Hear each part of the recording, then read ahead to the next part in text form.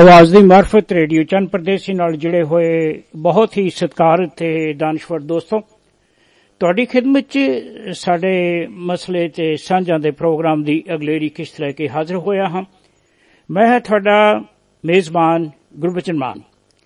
Programme ਵਿੱਚ ਆਪ ਸਭ ਦਾ ਨਿੱਘਾ ਸਵਾਗਤ ਹੈ। ਆਦਾਬ, ਨਮਸਕਾਰ, ਸਤਿ ਸ੍ਰੀ ਅਕਾਲ। ਤੁਹਾਨੂੰ ਵੀ ਜਾਣ ਕੇ ਖੁਸ਼ੀ ਹੋਏਗੀ ਕਿ ਮੇਰੇ ਇਸ ਪ੍ਰੋਗਰਾਮ ਦੇ ਖਾਸ ਮਹਿਮਾਨ ਹਨ ਡਾਕਟਰ ਜਗਮੇਲ ਸਿੰਘ ਪਾਠੂਆ ਜੀ। ਇਹਨਾਂ ਦੀ ਡਾਕਟਰੇਟ ਵੀ ਪੰਥ ਦੀ ਬਹੁਤ ਹੀ ਅਦੁੱਤੀ ਸ਼ਖਸੀਅਤ ਭਾਈ ਸਪਾਈ ਕਾਨ ਸਿੰਘ ਨਾਭਾ ਜੀ ਦੀ ਜੀਵਨੀ ਅਤੇ ਯੋਗਦਾਨ ਬਾਰੇ ਹੈ। ਪਾਠਿਆ ਜੀ ਨੇ ਨਿੱਠ ਕੇ ਆਪਣੇ ਜੀਵਨ ਦੇ ਤਕਰੀਬਨ 30 ਸਾਲ ਇਸ ਖੋਜ ਖੋਜਕਾਰੀ ਦੇ ਘੇਰੇ ਉੱਪਰ ਇਸ ਅਦੁੱਤੀ ਸ਼ਖਸੀਅਤ ਦੇ ਸਬੰਧ ਵਿੱਚ ਪੂਰੇ ਸਮਰਪਣ ਨਾਲ ਦਿੱਤੇ ਹਨ। ਭਾਈ ਕਾਨ ਸਿੰਘ ਨਾਭਾ ਜੀ ਦੁਆਰਾ ਰਚਿਤ ਮਹਾਨ ਕੋਸ਼ ਐਨਸਾਈਕਲੋਪੀਡੀਆ ਆਫ ਸਿੱਖ ਲਿਟਰੇਚਰ ਇੱਕ ਮਹਾਨ ਦੇਣ ਹੈ। ਅੱਜ ਦੇ ਪ੍ਰੋਗਰਾਮ ਵਿੱਚ ਡਾਕਟਰ ਜਗਮੇਲ ਸਿੰਘ ਪਾਠਵਾ ਜੀ ਤੋਂ, ਭਾਈ ਕਾਨ ਸਿੰਘ ਨਾਭਾ ਜੀ ਦੇ ਜੀਵਨ ਤੇ ਯੋਗਦਾਨ ਬਾਰੇ ਤੱਥ ਸੁਣਾਂਗੇ। ਪਿਛਲੇ ਦਿਨੀ ਗੁਰੂ ਗੋਬਿੰਦ ਸਿੰਘ ਕਾਲਜ, ਚੰਡੀਗੜ੍ਹ ਦੇ ਇਤਿਹਾਸ ਵਿਭਾਗ ਵੱਲੋਂ ਇੱਕ ਸੈਮੀਨਾਰ ਭਾਈ ਕਾਨ ਸਿੰਘ ਨਾਭਾ ਜੀ ਸਬੰਧੀ ਕਰਵਾਇਆ ਗਿਆ ਸੀ, ਜਿਸ ਵਿੱਚ ਡਾਕਟਰ ਜਗਮੇਲ ਸਿੰਘ ਪਾਠੂਆ ਜੀ ਨੇ ਬਤੌਰ ਮੁੱਖ ਬੁਲਾਰੇ ਦੇ ਤੌਰ ਤੇ ਸ਼ਿਰਕਤ ਕੀਤੀ ਸੀ। ਸੋ ਪ੍ਰੋਗਰਾਮ ਦੇ ਆਰੰਭ ਵਿੱਚ ਗੁਰਕੀ ਮੂਰਤ ਮਨ ਮੇ ਧਿਆਨ ਸ਼ਬਦ ਦੇ ਨਾਲ ਸ਼ੁਰੂ ਕਰਾਂਗੇ। ਤੇ ਫਿਰ ਕਿਤੇ ਨਾ ਕਿਤੇ ਡਾਕਟਰ ਰਵਿੰਦਰ ਕੌਰ ਰਵੀ ਜੀ ਦੁਆਰਾ ਗਾਇਨ ਕੀਤਾ ਗਿਆ ਜਿਹੜੀ ਕਵਿਤਾ ਹੈ ਉਹ ਵੀ ਪ੍ਰੋਗਰਾਮ ਦੇ ਦੌਰਾਨ ਪੇਸ਼ ਕਰਨ ਦੀ ਕੋਸ਼ਿਸ਼ ਕਰਾਂਗੇ। ਇਸ ਦੇ ਨਾਲ ਹੀ ਮੈਂ ਅੱਜ ਦੇ ਪ੍ਰੋਗਰਾਮ ਦੇ ਬਾਰੇ ਜਿਹੜੀ ਮੁੱਢਲੀ ਜਾਣਕਾਰੀ ਹੈ, ਉਹਨੂੰ ਇੱਥੇ ਹੀ ਸਮਾਪਤ ਕਰਦੇ ਹੋਇਆ ਮੈਨੂੰ ਬੜੀ ਖੁਸ਼ੀ ਹੋ ਰਹੀ ਹੈ ਕਿ ਡਾਕਟਰ ਜਗਮੇਲ ਸਿੰਘ ਪਾਠੂਆ ਸਾਹਿਬ ਮੇਰੇ ਨਾਲ ਲਾਈਨ ਦੇ ਉੱਪਰ ਮੌਜੂਦ ਨੇ। ਮੈਂ ਉਹਨਾਂ ਨੂੰ ਆਪਣੇ ਵੱਲੋਂ, ਅਦਾਰਾ ਚੰਦ ਪ੍ਰਦੇਸ਼ੀ ਵੱਲੋਂ ਔਰ ਦੇਸ਼ ਵਿਦੇਸ਼ ਦੇ ਬਹੁਤਾਤ ਸਰੋਤਿਆਂ ਵੱਲੋਂ ਜੀ ਆਇਆਂ ਤੇ ਧੰਨਵਾਦ ਕਹਿੰਦਾ ਹਾਂ। ਡਾਕਟਰ ਪਾਠੂਆ ਜੀ, ਤੁਸੀਂ ਰੇਡੀਓ ਚੰਨ ਪ੍ਰਦੇਸ਼ੀ ਦੇ ਸਰੋਤਾ ਸਮੂਹ ਨੂੰ ਮੁਖਾਤਬ ਹੋ ਜੀ। ਡਾਕਟਰ ਸਾਹਿਬ, ਅੱਜ ਦੀ ਗੱਲਬਾਤ ਤੁਸੀਂ ਪੈਸਾ ਭਾਈ ਕਾਨ ਸਿੰਘ ਨਾਬਾ ਜੀ ਦੇ ਜੀਵਨ ਔਰ ਉਹਨਾਂ ਦੀ ਵਿਦਿਆ ਨਾਲ ਸ਼ੁਰੂ ਕਰ ਸਕਦੇ ਹੋ। ਮਿਹਰਬਾਨੀ ਜੀ। ਜੀ ਆਇਆਂ ਨੂੰ। ਬਹੁਤ ਬਹੁਤ ਧੰਨਵਾਦ ਸਰਦਾਰ ਗੁਰਵਚਨ ਸਿੰਘ ਮਾਨ ਤੇ ਚੰਨ ਪ੍ਰਦੇਸ਼ੀ ਦੇ ਪਿਆਰੇ ਸਰੋਤਿਆਂ ਦਾ।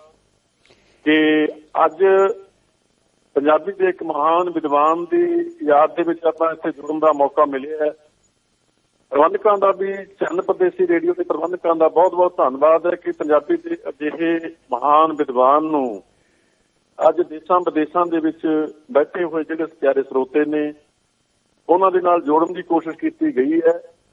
ਤੋਂ ਮੈਂ ਜੋ ਵੀ ਅੱਜ ਮਾਨ ਸਾਹਿਬ ਆ ਪੁੱਛਣਾ ਚਾਹੁੰਦੇ ਹੋ ਉਸ ਬਾਰੇ ਆਪਾਂ ਗੱਲ ਕਰਾਂਗੇ ਕਿ ਭਾਈ ਕਾਨ ਸਿੰਘ ਨਾਭਾ ਸਾਡੇ ਪੰਜਾਬੀਆਂ ਦੇ ਕਿਹੋ ਜਿਹੇ ਵਿਦਵਾਨ ਸਨ, ਕੀ ਉਹਨਾਂ ਦੀ ਦੇਣ ਹੈ, ਗੁਰਮਤ ਨੂੰ ਉਹਨਾਂ ਦੀ ਕੀ ਦੇਣ ਹੈ ਕਿਹੜੇ ਕਿਹੜੇ ਗ੍ਰੰਥ ਰਚੇ ਨੇ, ਤੇ ਉਹਨਾਂ ਦੀ ਕਾਵ ਰਚਨਾਵਾਂ, ਤੇ ਕੁਝ ਉਹਨਾਂ ਦੇ ਨਵੇਂ ਕੰਮ ਵੀ ਜੋ ਹੈਗੇ ਨੇ, ਉਹ ਆਪਾਂ ਅੱਜ ਆਪਣੇ ਪਿਆਰੇ ਸਰੋਤਿਆਂ ਦੇ ਨਾਲ ਸਾਂਝੇ ਕਰਾਂਗੇ। ਬਹੁਤ ਮਿਹਰਬਾਨੀ ਜੀ। ਤੁਸੀਂ ਪ੍ਰੋਗਰਾਮ ਦੀ ਲਗਭਗ ਸਾਰਾ ਸੰਖੇਪ ਵਿੱਚ ਵੇਰਵਾ ਦੇ ਦਿੱਤਾ ਹੈ। ਭਾਈ ਕਾਨ ਸਿੰਘ ਨਾਭਾ ਜੀ ਦੀ ਜੀਵਨ ਔਰ ਉਹਨਾਂ ਦਾ ਯੋਗਦਾਨ ਅਦੁੱਤੀ ਹੈ ਆਪਣੇ ਆਪ ਵਿੱਚ। ਪਰ ਮੇਰਾ ਖਿਆਲ ਹੈ ਅੱਜ ਦੇ ਪ੍ਰੋਗਰਾਮ ਦੀ ਸ਼ੁਰੂਆਤ ਅਸੀਂ ਜੇ ਉਹਨਾਂ ਦੀ ਪਰਿਵਾਰਕ ਪਿਛੋਕੜ ਤੋਂ ਉਹਨਾਂ ਦੀ ਵਿਦਿਆ ਬਾਰੇ ਸ਼ੁਰੂ ਕਰ ਲਈਏ ਤੇ ਫਿਰ ਆਪਾਂ ਨਾਲ ਨਾਲ ਜਿਹੜੀ ਗੱਲ ਹੈਗੀ ਹੈ ਜਿਵੇਂ ਜਿਵੇਂ ਉਹਦਾ ਸਬੰਧ ਬਣਦਾ ਜਾਊਗਾ ਫਿਰ ਭਾਈ ਨਰਾਇਣ ਸਿੰਘ ਬਾਰੇ ਉਹਨਾਂ ਉਹਨਾਂ ਦੇ ਬਾਰੇ ਵੀ ਜਾਣਾਂਗੇ। ਸੋ ਸਾਰੀ ਸਮੁੱਚੀ ਪਰਿਵਾਰਕ ਤੇ ਉਹਨਾਂ ਦੀ ਜਿਹੜੀ ਯੋਗਦਾਨ ਜਿਹੜੀ ਹੈਗੀ ਹੈ ਉਹਦਾ ਹੌਲੀ ਹੌਲੀ ਸਟੈਪ ਬਾਈ ਸਟੈਪ ਪਤਾ ਲੱਗਦਾ ਰਹੇਗਾ। ਤੇ ਸੋ ਅੱਜ ਸ਼ੁਰੂ ਕਰ ਸਕਦੇ ਹਾਂ ਉਹਨਾਂ ਦੇ ਪਰਿਵਾਰਕ ਪਿਛੋਕੜ ਤੋਂ ਔਰ ਉਹਨਾਂ ਦੀ ਵਿਦਿਆ ਬਾਰੇ। ਜੀ, ਡਾਕਟਰ ਸਾਹਿਬ। ਅਹ, ਭਾਈ ਕਾਨ ਸਿੰਘ ਨਾਭਾ ਪੰਜਾਬੀ ਦੇ ਇੱਕ ਅਜਿਹੇ ਵਿਦਵਾਨ ਹੋਏ ਹਨ ਜਿਨ੍ਹਾਂ ਦੀ ਤੁਲਨਾ ਕਿਸੇ ਹੋਰ ਨਾਲ ਨਹੀਂ ਕੀਤੀ ਜਾ ਸਕਦੀ। ਵਾਹ। ਤੇ ਜਿੱਥੋਂ ਤੱਕ ਭਾਈ ਸਾਹਿਬ ਦੇ ਪਿਛੋਕੜ ਦੀ ਗੱਲ ਹੈ ਭਾਈ ਸਾਹਿਬ ਦੇ ਜਿਹੜੇ ਬਜ਼ੁਰਗ ਸਨ ਬਾਬਾ ਨੌ ਸਿੰਘ ਜੀ ਬਾਬਾ ਨੌ ਸਿੰਘ ਜੀ ਦਾ ਸੰਬੰਧ ਜ਼ਿਲ੍ਹਾ ਬਠਿੰਡਾ ਦੇ ਪਿੰਡ ਪਿੱਥੋਂ ਦੇ ਨਾਲ ਜੁੜਦਾ ਹੈ। ਪਿੰਡ ਪਿੱਥੋਂ ਦੇ ਬਾਬਾ ਨੌ ਸਿੰਘ ਜੀ ਪ੍ਰਮੁੱਖ ਮੰਨੇ ਜਾਂਦੇ ਸਨ ਪ੍ਰਮੁੱਖ ਹੁੰਦੇ ਸਨ। ਤੇ ਜੱਟ ਸਿੱਖ ਢਿੱਲੋਂ ਪਰਿਵਾਰ ਦੇ ਵਿੱਚੋਂ ਬਾਬਾ ਨੌ ਸਿੰਘ ਜੀ ਦਾ ਸੰਬੰਧ ਕਿਸੇ ਮੌਕੇ ਸ਼ੇਰੀ ਪੰਜਾਬ ਮਹਾਰਾਜਾ ਰਣਜੀਤ ਸਿੰਘ ਜੀ ਦੇ ਨਾਲ ਵੀ ਰਿਹਾ ਬਾਬਾ ਨੌ ਸਿੰਘ ਜੀ ਦੇ ਬੇਟੇ ਬਾਬਾ ਸਰੂਪ ਸਿੰਘ ਜੀ ਨਾਭੇ ਆ ਜਾਂਦੇ ਨੇ। ਨਾਭੇ ਉਸ ਮੌਕੇ ਇੱਕ ਬਹੁਤ ਵੱਡੇ ਮਹਾਂਪੁਰਖ ਸੇਵਾ ਕਰਦੇ ਹੁੰਦੇ ਨੇ, ਬਾਬਾ ਅਜਾਪਾਲ ਸਿੰਘ ਜੀ। ਤੋਂ ਬਾਬਾ ਅਜਾਪਾਲ ਸਿੰਘ ਜੀ ਦੇ ਜਦੋਂ ਬਾਬਾ ਸਰੂਪ ਸਿੰਘ ਜੀ ਭਾਈ ਕਾਮ ਸਿੰਘ ਨਾਭਾ ਦੇ ਦਾਦਾ ਆਉਂਦੇ ਨੇ ਤਾਂ ਉਹ ਇੱਥੇ ਹੀ ਆ ਕੇ ਹਮੇਸ਼ਾ ਵਾਸਤੇ ਇਹ ਧਾਰਮਿਕ ਸਥਾਨ ਦੇ ਨਾਲ ਜੁੜ ਜਾਂਦੇ ਨੇ, ਸੇਵਾ ਕਰਦੇ ਨੇ। ਤੇ ਬਾਬਾ ਸਰੂਪ ਸਿੰਘ, ਭਾਈ ਕਾਮ ਸਿੰਘ ਨਾਭਾ ਦੇ ਦਾਦਾ ਜੀ ਇੱਕ ਇੰਨੇ ਵੱਡੇ ਪ੍ਰਚਾਰਕ ਹੋਏ ਨੇ ਕਿ ਉਹਨਾਂ ਨੇ ਨਾਭੇ ਰੱਖਤੇ ਜਿਹੜੇ ਰਾਜੇ ਮਹਾਰਾਜੇ ਹੋਏ ਨੇ, ਉਹਨਾਂ ਨੂੰ ਵੀ ਗੁਰਬਾਣੀ ਦੇ ਨਾਲ ਜੋੜਿਆ, ਗੁਰਮਤ ਦੇ ਨਾਲ ਜੋੜਿਆ। ਨਾਭਾ ਰਿਆਸਤ ਦੇ ਤੀਜੇ ਜਿਹੜੇ ਮਹਾਰਾਜਾ, ਰਾਜਾ ਹੋਏ ਨੇ, ਰਾਜਾ ਭਰਪੂਰ ਜੀ ਰਾਜਾ ਭਰਪੂਰ ਸਿੰਘ, ਉਹਨਾਂ ਨੂੰ ਬਾਬਾ ਸਰੂਪ ਨੇ ਅੰਮ੍ਰਿਤਪਾਨ ਕਰਵਾਇਆ ਤੇ ਸਿੱਖੀ ਦਾ ਬਹੁਤ ਪ੍ਰਚਾਰ ਕੀਤਾ ਤੇ ਇਹ ਬਾਬਾ ਅਜਾਪਾਲ ਦਾ ਡੇਰਾ ਜਿਹੜਾ ਮੰਨਿਆ ਜਾਂਦਾ ਸੀ, ਡੇਰਾ ਬਾਬਾ ਅਜਾਪਾਲ, ਅੱਜ ਵੀ ਜਿਸ ਨੂੰ ਘੋੜਿਆਂ ਵਾਲਾ ਗੁਰਦੁਆਰਾ ਕਹਿ ਕੇ ਨਾਭੇ ਦੇ ਵਿੱਚ ਆਪਾਂ ਜਾਣਦੇ ਹਾਂ, ਤੋਂ ਇਹ ਸਥਾਨ ਤੇ ਜ਼ਿਲ੍ਹਾ ਬਠਿੰਡਾ ਦੇ ਵਿੱਚੋਂ ਪਿੰਡ ਪਿੱਥੋਂ ਤੋਂ ਭਾਈ ਕਾਨ ਸਿੰਘ ਨਾਭਾ ਦੇ ਬਜ਼ੁਰਗ ਇੱਥੇ ਆ ਕੇ ਸੇਵਾ ਕਰਨ ਲੱਗੇ ਤੇ ਇੱਥੇ ਹੀ ਫਿਰ ਭਾਈ ਕਾਨ ਸਿੰਘ ਨਾਭਾ ਦੇ ਦਾਦਾ ਤੋਂ ਬਾਅਦ, ਬਾਬਾ ਸਰੂਪ ਸਿੰਘ ਤੋਂ ਬਾਅਦ ਬਾਬਾ ਨਰੈਣ ਸਿੰਘ ਜੀ ਨੇ ਸੇਵਾ ਕੀਤੀ ਤੇ ਇਹ ਜਿਹੜਾ ਕੇਂਦਰ ਹੈ, ਉਹ ਗੁਰਮਤ ਦਾ ਇੱਕ ਬਹੁਤ ਪ੍ਰਚਾਰ ਦਾ, ਗੁਰਮਤ ਦੇ ਪ੍ਰਚਾਰ ਦਾ, ਗੁਰਬਾਣੀ ਦੀ ਵਿਆਖਿਆ ਦਾ ਇੱਕ ਬਹੁਤ ਵੱਡਾ ਕੇਂਦਰ ਬਣ ਗਿਆ ਉਸ ਮੌਕੇ। ਕੋਈ ਸ਼ੱਕ ਨਹੀਂ। ਜਿੱਥੋਂ ਤੱਕ ਸਿੱਖਿਆ ਦੀ ਆ ਭਾਈ ਨਰੈਣ ਸਿੰਘ ਹੋਣਾ ਜੀ ਬਾਰੇ ਬਹੁਤ ਉਹਨਾਂ ਦੀ ਮਹਿਮਾ ਦੇ ਵਿੱਚ ਉਹ ਕਿ ਉਹ ਬ੍ਰਹਮ ਗਿਆਨੀ ਸਨ। ਉਹ ਸ੍ਰੀ ਗੁਰੂ ਗ੍ਰੰਥ ਸਾਹਿਬ ਦਾ ਪਾਠ ਜਿਹੜਾ ਹੈਗਾ ਇੱਕ ਸਿਟਿੰਗ ਵਿੱਚ ਸੁਣ ਸਕਦੇ ਸਨ ਸੁਣਾ ਸੁਣਵਾ ਸਕਦੇ ਸਨ। ਔਰ ਮਹਾਰਾਜਾ ਸਾਹਿਬ ਨੇ ਇੱਕ ਵਾਰੀ ਸੁਣਿਆ। ਇਹ ਬਹੁਤ ਹੀ ਵੱਡੀਆਂ ਗੱਲਾਂ ਨੇ। ਅੱਜ ਦੇ ਜ਼ਮਾਨੇ ਦੇ ਵਿੱਚ ਕਿਹੋ ਜਿਹਾ ਕੋਈ ਵਿਅਕਤੀ ਹੋ ਸਕਦਾ ਹੈ, ਜਿਹੜਾ ਇੱਕ ਸਿਟਿੰਗ ਦੇ ਵਿੱਚ ਗੁਰੂ ਗ੍ਰੰਥ ਸਾਹਿਬ ਦਾ ਜਿਹੜਾ ਸਮੁੱਚਾ ਪਾਠ ਹੈ ਉਸ ਨੂੰ ਸਰਵਣ ਕਰਵਾ ਸਕੇ। ਜੀ। ਜੀ ਮਾਨ ਸਾਹਿਬ ਜੀ, ਜਿਵੇਂ ਕਿ ਆਪਾਂ ਹੁਣ ਗੱਲ ਕੀਤੀ ਹੈ ਕਿ ਪਿੰਡ ਪਿੱਥੋਂ ਤੋਂ ਬਜ਼ੁਰਗ ਨੇ ਜਿਹੜੇ ਬਾਬਾ ਸਰੂਪ ਜੀ, ਬਾਬਾ ਸਰੂਪ ਸਿੰਘ ਜੀ ਨਾਭੇ ਆਏ ਨੇ ਤੇ ਨਾਭੇ ਦੇ ਵਿੱਚ ਡੇਰਾ ਬਾਬਾ ਅਜਾਪਾਲ ਸਿੰਘ ਜਿਹੜਾ ਗੁਰਦੁਆਰਾ ਹੈ ਉੱਥੇ ਫਿਰ ਉਹ ਸੇਵਾ ਕਰਨ ਲੱਗੇ ਤੇ ਇੱਥੇ ਹੀ ਫਿਰ ਬਾਬਾ ਸਰੂਪ ਸਿੰਘ ਜੀ ਤੋਂ ਬਾਅਦ ਬਾਬਾ ਨਰੈਣ ਸਿੰਘ ਜੀ ਨੇ ਸੇਵਾ ਕੀਤੀ ਤੇ ਬਾਬਾ ਨਰੈਣ ਸਿੰਘ ਜੀ ਬਾਰੇ ਜਿਵੇਂ ਕਿ ਆਪ ਨੇ ਦੱਸਿਆ ਹੈ, ਉਹ ਬਿਲਕੁਲ ਹੀ ਇੱਕ ਬਹੁਤ ਹੀ ਵੱਡੇ ਕਰਨੀ ਵਾਲੇ ਮਹਾਂਪੁਰਖ ਹੋਏ ਨੇ ਤੇ ਉਹਨਾਂ ਦੀ ਜਿਹੜੀਆਂ ਭਾਵਨਾਵਾਂ ਸਨ, ਉਹ ਵੀ ਇਹੋ ਹੀ ਸਨ ਕਿ ਗੁਰਮਤ ਦਾ ਪ੍ਰਚਾਰ ਹੋਵੇ ਤੇ ਗੁਰਮਤ ਦਾ ਪ੍ਰਚਾਰ ਹੈ ਜਿਹੜਾ ਉਹ ਨਵੇਂ ਤਰੀਕੇ ਦੇ ਨਾਲ ਹੋਵੇ। ਤਾਂ ਉਹਨਾਂ ਬਾਰੇ ਨਾਭਾ ਪਤੀ ਮਹਾਰਾਜਾ ਹੀਰਾ ਸਿੰਘ ਜੀ ਬੜੀ ਸ਼ਰਧਾ ਰੱਖਦੇ ਸਨ ਤੇ ਬਾਬਾ ਨਰੈਣ ਸਿੰਘ ਜੀ ਨਾਲ ਇੱਕ ਵਾਰ ਜਦੋਂ ਮਿਲਾਪ ਹੁੰਦਾ ਮਹਾਰਾਜਾ ਹੀਰਾ ਸਿੰਘ ਆਖਦੇ ਨੇ ਕਿ ਅੱਜ ਕੱਲ ਪੁਰਾਣੇ ਜਿਹੜੇ ਪ੍ਰਚਾਰਕ ਸਨ, ਪੁਰਾਣੇ ਜਿਹੜੇ ਪਾਠ ਕਰਨ ਵਾਲੇ ਸਨ, ਉਹ ਜਿਹੇ ਸਾਨੂੰ, ਨਾ ਗ੍ਰੰਥੀ ਮਿਲਦੇ ਨੇ, ਨਾ ਪ੍ਰਚਾਰਕ ਮਿਲਦੇ ਨੇ। ਉਹ ਜੇ ਸਾਨੂੰ, ਨਾ ਪਾਠ ਕਰਨ ਵਾਲੇ ਮਿਲਦੇ ਨੇ। ਤਾਂ ਬਾਬਾ ਨਰੈਣ ਸਿੰਘ ਨੇ ਕਿਹਾ ਕਿ ਪਾਠ ਕਰਨ ਵਾਲੇ ਤਾਂ ਹੈਗੇ ਨੇ ਸੁਣਨ ਵਾਲੇ ਨਹੀਂ ਹਨ। ਵਾਹ ਵਾਹ। ਤਾਂ ਮਹਾਰਾਜਾ ਹੀਰਾ ਸਿੰਘ ਨੇ ਕਿਹਾ ਕਿ ਮੈਂ ਸੁਣਨ ਵਾਸਤੇ ਆਵਾਂਗਾ। ਸੋ ਮਹਾਰਾਜਾ ਹੀਰਾ ਸਿੰਘ ਨੇ ਇੱਕ ਥਾਂ ਤੇ ਪਾਠ ਦਾ ਆਯੋਜਨ ਜਿੱਥੇ ਕੀਤਾ ਸੀ ਉੱਥੇ ਬੈਠੇ ਤੇ ਪੁਰਾਣੀਆਂ ਲਿਖਤਾਂ ਦੇ ਵਿੱਚੋਂ ਪ੍ਰਮਾਣ ਮਿਲਦੇ ਨੇ। ਸ਼ਮਸ਼ੇਰ ਸਿੰਘ ਅਸ਼ੋਕ ਵੀ ਇਸ ਬਾਰੇ ਦੱਸਦੇ ਨੇ ਕਿ ਤਿੰਨ ਦਿਨ ਲਗਾਤਾਰ ਬਾਬਾ ਨਰੈਣ ਸਿੰਘ ਜੀ ਨੇ ਇੱਕੋ ਚੌਂਕੜਾ ਮਾਰ ਕੇ ਉੱਥੇ ਪਾਠ ਕੀਤਾ ਤੇ ਮਹਾਰਾਜਾ ਹੀਰਾ ਸਿੰਘ ਨੇ ਉਹ ਪਾਠ ਸੁਣਿਆ ਤੇ ਜਦੋਂ ਪਾਠ ਸੁਣਿਆ ਪੂਰਾ ਪਾਠ ਬਾਬਾ ਨਰੈਣ ਸਿੰਘ ਜੀ ਨੇ ਇੱਕੋ ਚੌਂਕੜਾ ਮਾਰ ਕੇ ਕੀਤਾ। ਇਹ ਜਿਹੜਾ ਪਾਠ ਸੀ ਇਹਦੇ ਵਾਸਤੇ ਅਤੀ ਅਖੰਡ ਪਾਠ ਸ਼ਬਦ ਵਰਤਿਆ ਜਾਂਦਾ ਹੈ। ਤਾਂ ਦੱਸਿਆ ਜਾਂਦਾ ਹੈ ਕਿ ਇਸ ਤੋਂ ਇਲਾਵਾ ਵੀ ਦੋ ਵਾਰ ਹੋਰ ਜ਼ਿੰਦਗੀ ਦੇ ਵਿੱਚ ਇੱਕੋ ਚੌਂਕੜੇ ਦੇ ਵਿੱਚ ਬਾਬਾ ਨਰੈਣ ਸਿੰਘ ਜੀ ਨੇ ਪਾਠ ਕੀਤਾ। ਤੇ ਜਦੋਂ ਇਹ ਪਾਠ ਦੀ ਸਮਾਪਤੀ ਹੋਈ ਨਾਭਾਪਤੀ ਮਹਾਰਾਜਾ ਹੀਰਾ ਸਿੰਘ ਨੇ ਜਾਗੀਰ ਦੇਣੀ ਚਾਹੀ, ਉਹ ਬੜੇ ਪ੍ਰਭਾਵਿਤ ਹੋਏ, ਪਰੰਤੂ ਬਾਬਾ ਨਰੈਣ ਸਿੰਘ ਜੀ ਨੇ ਇਨਕਾਰ ਕਰ ਦਿੱਤਾ, ਕਿਉਂਕਿ ਉਹ ਸਿਰਫ ਡੇਰੇ ਦੀ ਸੇਵਾ ਕਰਦੇ ਸਨ। ਉਹਨਾਂ ਦਾ ਪਰਿਵਾਰਕ ਜਿਹੜਾ ਗੁਜ਼ਾਰਾ ਸੀ, ਉਹ ਪਿੰਡ ਪਿੱਥੋਂ, ਜ਼ਿਲ੍ਹਾ ਬਠਿੰਡਾ ਦੇ ਵਿੱਚੋਂ ਹੀ ਜਿਹੜੀ ਉਹਨਾਂ ਦੀ ਜ਼ਮੀਨ ਸੀ, ਉਸ ਦੇ ਨਾਲ ਹੀ ਉਹ ਚਲਾਉਂਦੇ ਸਨ ਤੇ ਉਹ ਧਾਰਮਿਕ ਸਥਾਨ ਦੇ ਵਿੱਚੋਂ ਕੋਈ ਭੇਟਾ ਨਹੀਂ ਲੈਂਦੇ ਸਨ। ਤਾਂ ਇਹ ਸੁਣ ਕੇ ਮਹਾਰਾਜਾ ਹੀਰਾ ਸਿੰਘ ਦੇ ਮਨ ਦੇ ਵਿੱਚ ਹੋਰ ਵੀ ਸ਼ਰਧਾ ਪੈਦਾ ਹੋਈ ਕਿ ਸਾਡੇ ਕਿੱਡੇ ਵੱਡੇ ਪ੍ਰਚਾਰਕ ਨੇ ਜਿਨ੍ਹਾਂ ਦੇ ਮਨ ਦੇ ਵਿੱਚ ਕੋਈ ਲਾਲਚ ਨਹੀਂ ਹੈ। ਤਾਂ ਜਦੋਂ ਬਾਬਾ ਨਰੈਣ ਸਿੰਘ ਜੀ ਨੂੰ ਪਾਠ ਤੋਂ ਬਾਅਦ ਡੇਰੇ ਦੇ ਵਿੱਚ ਡੇਰਾ ਬਾਬਾ ਜਪਾਲ ਦੇ ਵਿੱਚ ਲੈ ਕੇ ਜਾਣ ਲੱਗੇ ਤਾਂ ਜਿਹੜੀ ਪਾਲਕੀ ਦੇ ਵਿੱਚ ਬਾਬਾ ਨਰੈਣ ਸਿੰਘ ਜੀ ਬੈਠੇ ਹੋਏ ਸਨ ਉਸ ਪਾਲਕੀ ਨੂੰ ਉਸ ਪਾਲਕੀ ਦੇ ਇੱਕ ਕਹਾਰ ਨੂੰ ਹਟਾ ਕੇ ਮਹਾਰਾਜਾ ਹੀਰਾ ਸਿੰਘ ਨੇ ਆਪ ਮੋਢਾ ਲਾ ਲਿਆ ਤੇ ਡੇਰੇ ਤੱਕ ਛੱਡ ਕੇ ਆਏ। ਉਹ ਇਸ ਤਰ੍ਹਾਂ ਇਹ ਜਿਹੜੀਆਂ ਗੱਲਾਂ ਨੇ ਇਹਨਾਂ ਤੋਂ ਬਾਬਾ ਨਰੈਣ ਸਿੰਘ ਜੀ ਦੀ ਸ਼ਖਸੀਅਤ ਬਾਰੇ ਪਤਾ ਲੱਗਦਾ ਹੈ। ਕਿ ਬਾਬਾ ਨਰੈਣ ਸਿੰਘ ਜੀ ਦੇ ਗ੍ਰਹਿ ਵਿਖੇ ਹੀ ਭਾਈ ਕਾਨ ਸਿੰਘ ਨਾਭਾ ਦਾ ਜਨਮ ਹੋਇਆ ਜਿਹੜੇ ਕਿ ਸਿੱਖ ਕੌਮ ਦੇ ਤੇ ਪੰਜਾਬੀ ਦੇ ਇੱਕ ਬਹੁਤ ਵੱਡੇ ਵਿਦਵਾਨ ਹੋਏ ਨੇ। ਤੇ ਭਾਈ ਕਾਨ ਸਿੰਘ ਨਾਭਾ ਦਾ ਜਨਮ ਨਾਭੇ ਦੇ ਪਾਸ ਇੱਕ ਛੋਟਾ ਜਿਹਾ ਪਿੰਡ ਹੈ ਜਿੱਥੇ ਤਿੰਨ ਪਿੰਡ ਪੈਂਦੇ ਨੇ। ਇੱਕ ਬਨੇਰਾ ਖੁਰਦ ਹੈ ਇੱਕ ਬਨੇਰਾ ਕਲਾਂ ਹੈ ਤੇ ਇੱਕ ਸੌਜਾ ਹੈ। ਸੌਜਾ ਤੇ ਬਨੇਰਾ ਖੁਰਦ ਤੇ ਬਨੇਰਾ ਕਲਾਂ। ਇਹ ਤਿੰਨਾਂ ਪਿੰਡਾਂ ਦੇ ਵਿਚਕਾਰ ਜਿਹੜਾ ਬਨੇਰਾ ਖੁਰਦ ਹੈ, ਉੱਥੇ ਭਾਈ ਕਾਨ ਸਿੰਘ ਨਾਭਾ ਦਾ ਜਨਮ 30 ਅਗਸਤ 1861 ਨੂੰ 1861 ਨੂੰ ਮਾਤਾ ਹਰਕੌਰ ਦੀ ਕੁੱਖੋਂ ਹੋਇਆ। ਤੇ ਇੱਥੋਂ ਹੀ ਫਿਰ ਜਦੋਂ 3-4 ਸਾਲ ਦੇ ਬਾਲਕ ਕਾਨ ਸਿੰਘ ਹੁੰਦੇ ਨੇ, ਤਾਂ ਬਾਬਾ ਨਰੈਣ ਸਿੰਘ ਜੀ ਇਸ ਬਾਲਕ ਨੂੰ ਆਪਣੇ ਪਾਸ ਬੁਲਾ ਲੈਂਦੇ ਨੇ। ਤੇ ਜੀਵਨ ਦੀ ਕਠਨ ਤਪੱਸਿਆ ਦੀ ਜਾਂਚ ਉਹਨੂੰ ਸਿਖਾਉਂਦੇ ਨੇ ਤੇ ਨਾਭੇ ਰਹਿੰਦੇ ਹੋਇਆਂ ਬਾਲਕ ਨਾ ਕਾਨ ਸਿੰਘ ਨੂੰ ਗੁਰਬਾਣੀ ਦਾ ਪਾਠ ਆਰੰਭ ਕਰਾਉਂਦੇ ਨੇ। 5 ਤੋਂ 7 ਸਾਲ ਦੀ ਉਮਰ ਤੱਕ ਕਾਨ ਸਿੰਘ ਜੀ ਗੁਰਬਾਣੀ ਦਾ ਪਾਠ ਕਰਨ ਲੱਗ ਪਏ ਸਨ ਤੇ ਜਿਹੜੀਆਂ ਧਾਰਮਿਕ ਪੋਥੀਆਂ ਸਨ ਉਹ ਪੜਨ ਲੱਗ ਪਏ ਸਨ ਤੇ ਇੱਥੇ ਹੀ ਰਹਿੰਦੇ ਹੋਇਆਂ ਇਹ ਇੱਕ ਬੜੀ ਹੈਰਾਨੀ ਦੀ ਗੱਲ ਹੈ ਕਿ ਦੁਨੀਆ ਦੇ ਜਿਹੜੇ ਵਿਦਵਾਨ ਹੁੰਦੇ ਨੇ ਆਪਾਂ ਉਹਨਾਂ ਬਾਰੇ ਸੋਚਦੇ ਹਾਂ ਕਿ ਉਹ ਸਕੂਲਾਂ ਵਿੱਚੋਂ ਪੜ੍ਹ ਕੇ ਆਏ ਨੇ, ਕਾਲਜਾਂ ਵਿੱਚੋਂ ਪੜ੍ਹ ਕੇ ਆਏ ਨੇ, ਵੱਡੀਆਂ ਯੂਨੀਵਰਸਿਟੀਆਂ ਵਿੱਚੋਂ ਪੜ੍ਹ ਕੇ ਆਏ ਨੇ। ਪਰੰਤੂ ਭਾਈ ਕਾਨ ਸਿੰਘ ਨਾਭਾ ਨਾ ਕਿਸੇ ਸਕੂਲ ਦੇ ਵਿੱਚ ਗਏ, ਨਾ ਕਿਸੇ ਕਾਲਜ ਦੇ ਵਿੱਚ ਗਏ, ਨਾ ਕਿਸੇ ਯੂਨੀਵਰਸਿਟੀ ਦੇ ਵਿੱਚ ਗਏ। ਸਾਰੀ ਜਿਹੜੀ ਵਿੱਦਿਆ ਹੈ ਉਹਨਾਂ ਨੇ, ਉਦੋਂ ਦੇ ਜਿਹੜੇ ਦੇਸੀ ਵਿਦਵਾਨ ਸਨ, ਉਹਨਾਂ ਦੇ ਚਰਨਾਂ ਦੇ ਵਿੱਚ ਲੱਗ ਕੇ ਪ੍ਰਾਪਤ ਕੀਤੀ। ਤੋਂ ਇੱਥੇ ਹੀ ਬਾਬਾ ਨਰੈਣ ਸਿੰਘ ਨੇ ਸਭ ਤੋਂ ਪਹਿਲਾਂ ਗੁਰਮੁਖੀ ਪੜਾਉਣ ਦੀ ਜਿਹੜੀ ਸਿੱਖਿਆ ਹੈ, ਗੁਰਮੁਖੀ ਪੜਾਉਣ ਦੀ ਜਿਹੜੀ ਜ਼ਿੰਮੇਵਾਰੀ ਹੈ, ਤਾਂ ਉਸ ਮੌਕੇ ਦੇ ਇੱਕ ਪ੍ਰਮੁੱਖ ਸ਼ਖਸੀਅਤ ਭਾਈ ਭੂਪ ਸਿੰਘ ਜੀ ਨੂੰ ਸੌਂਪੀ।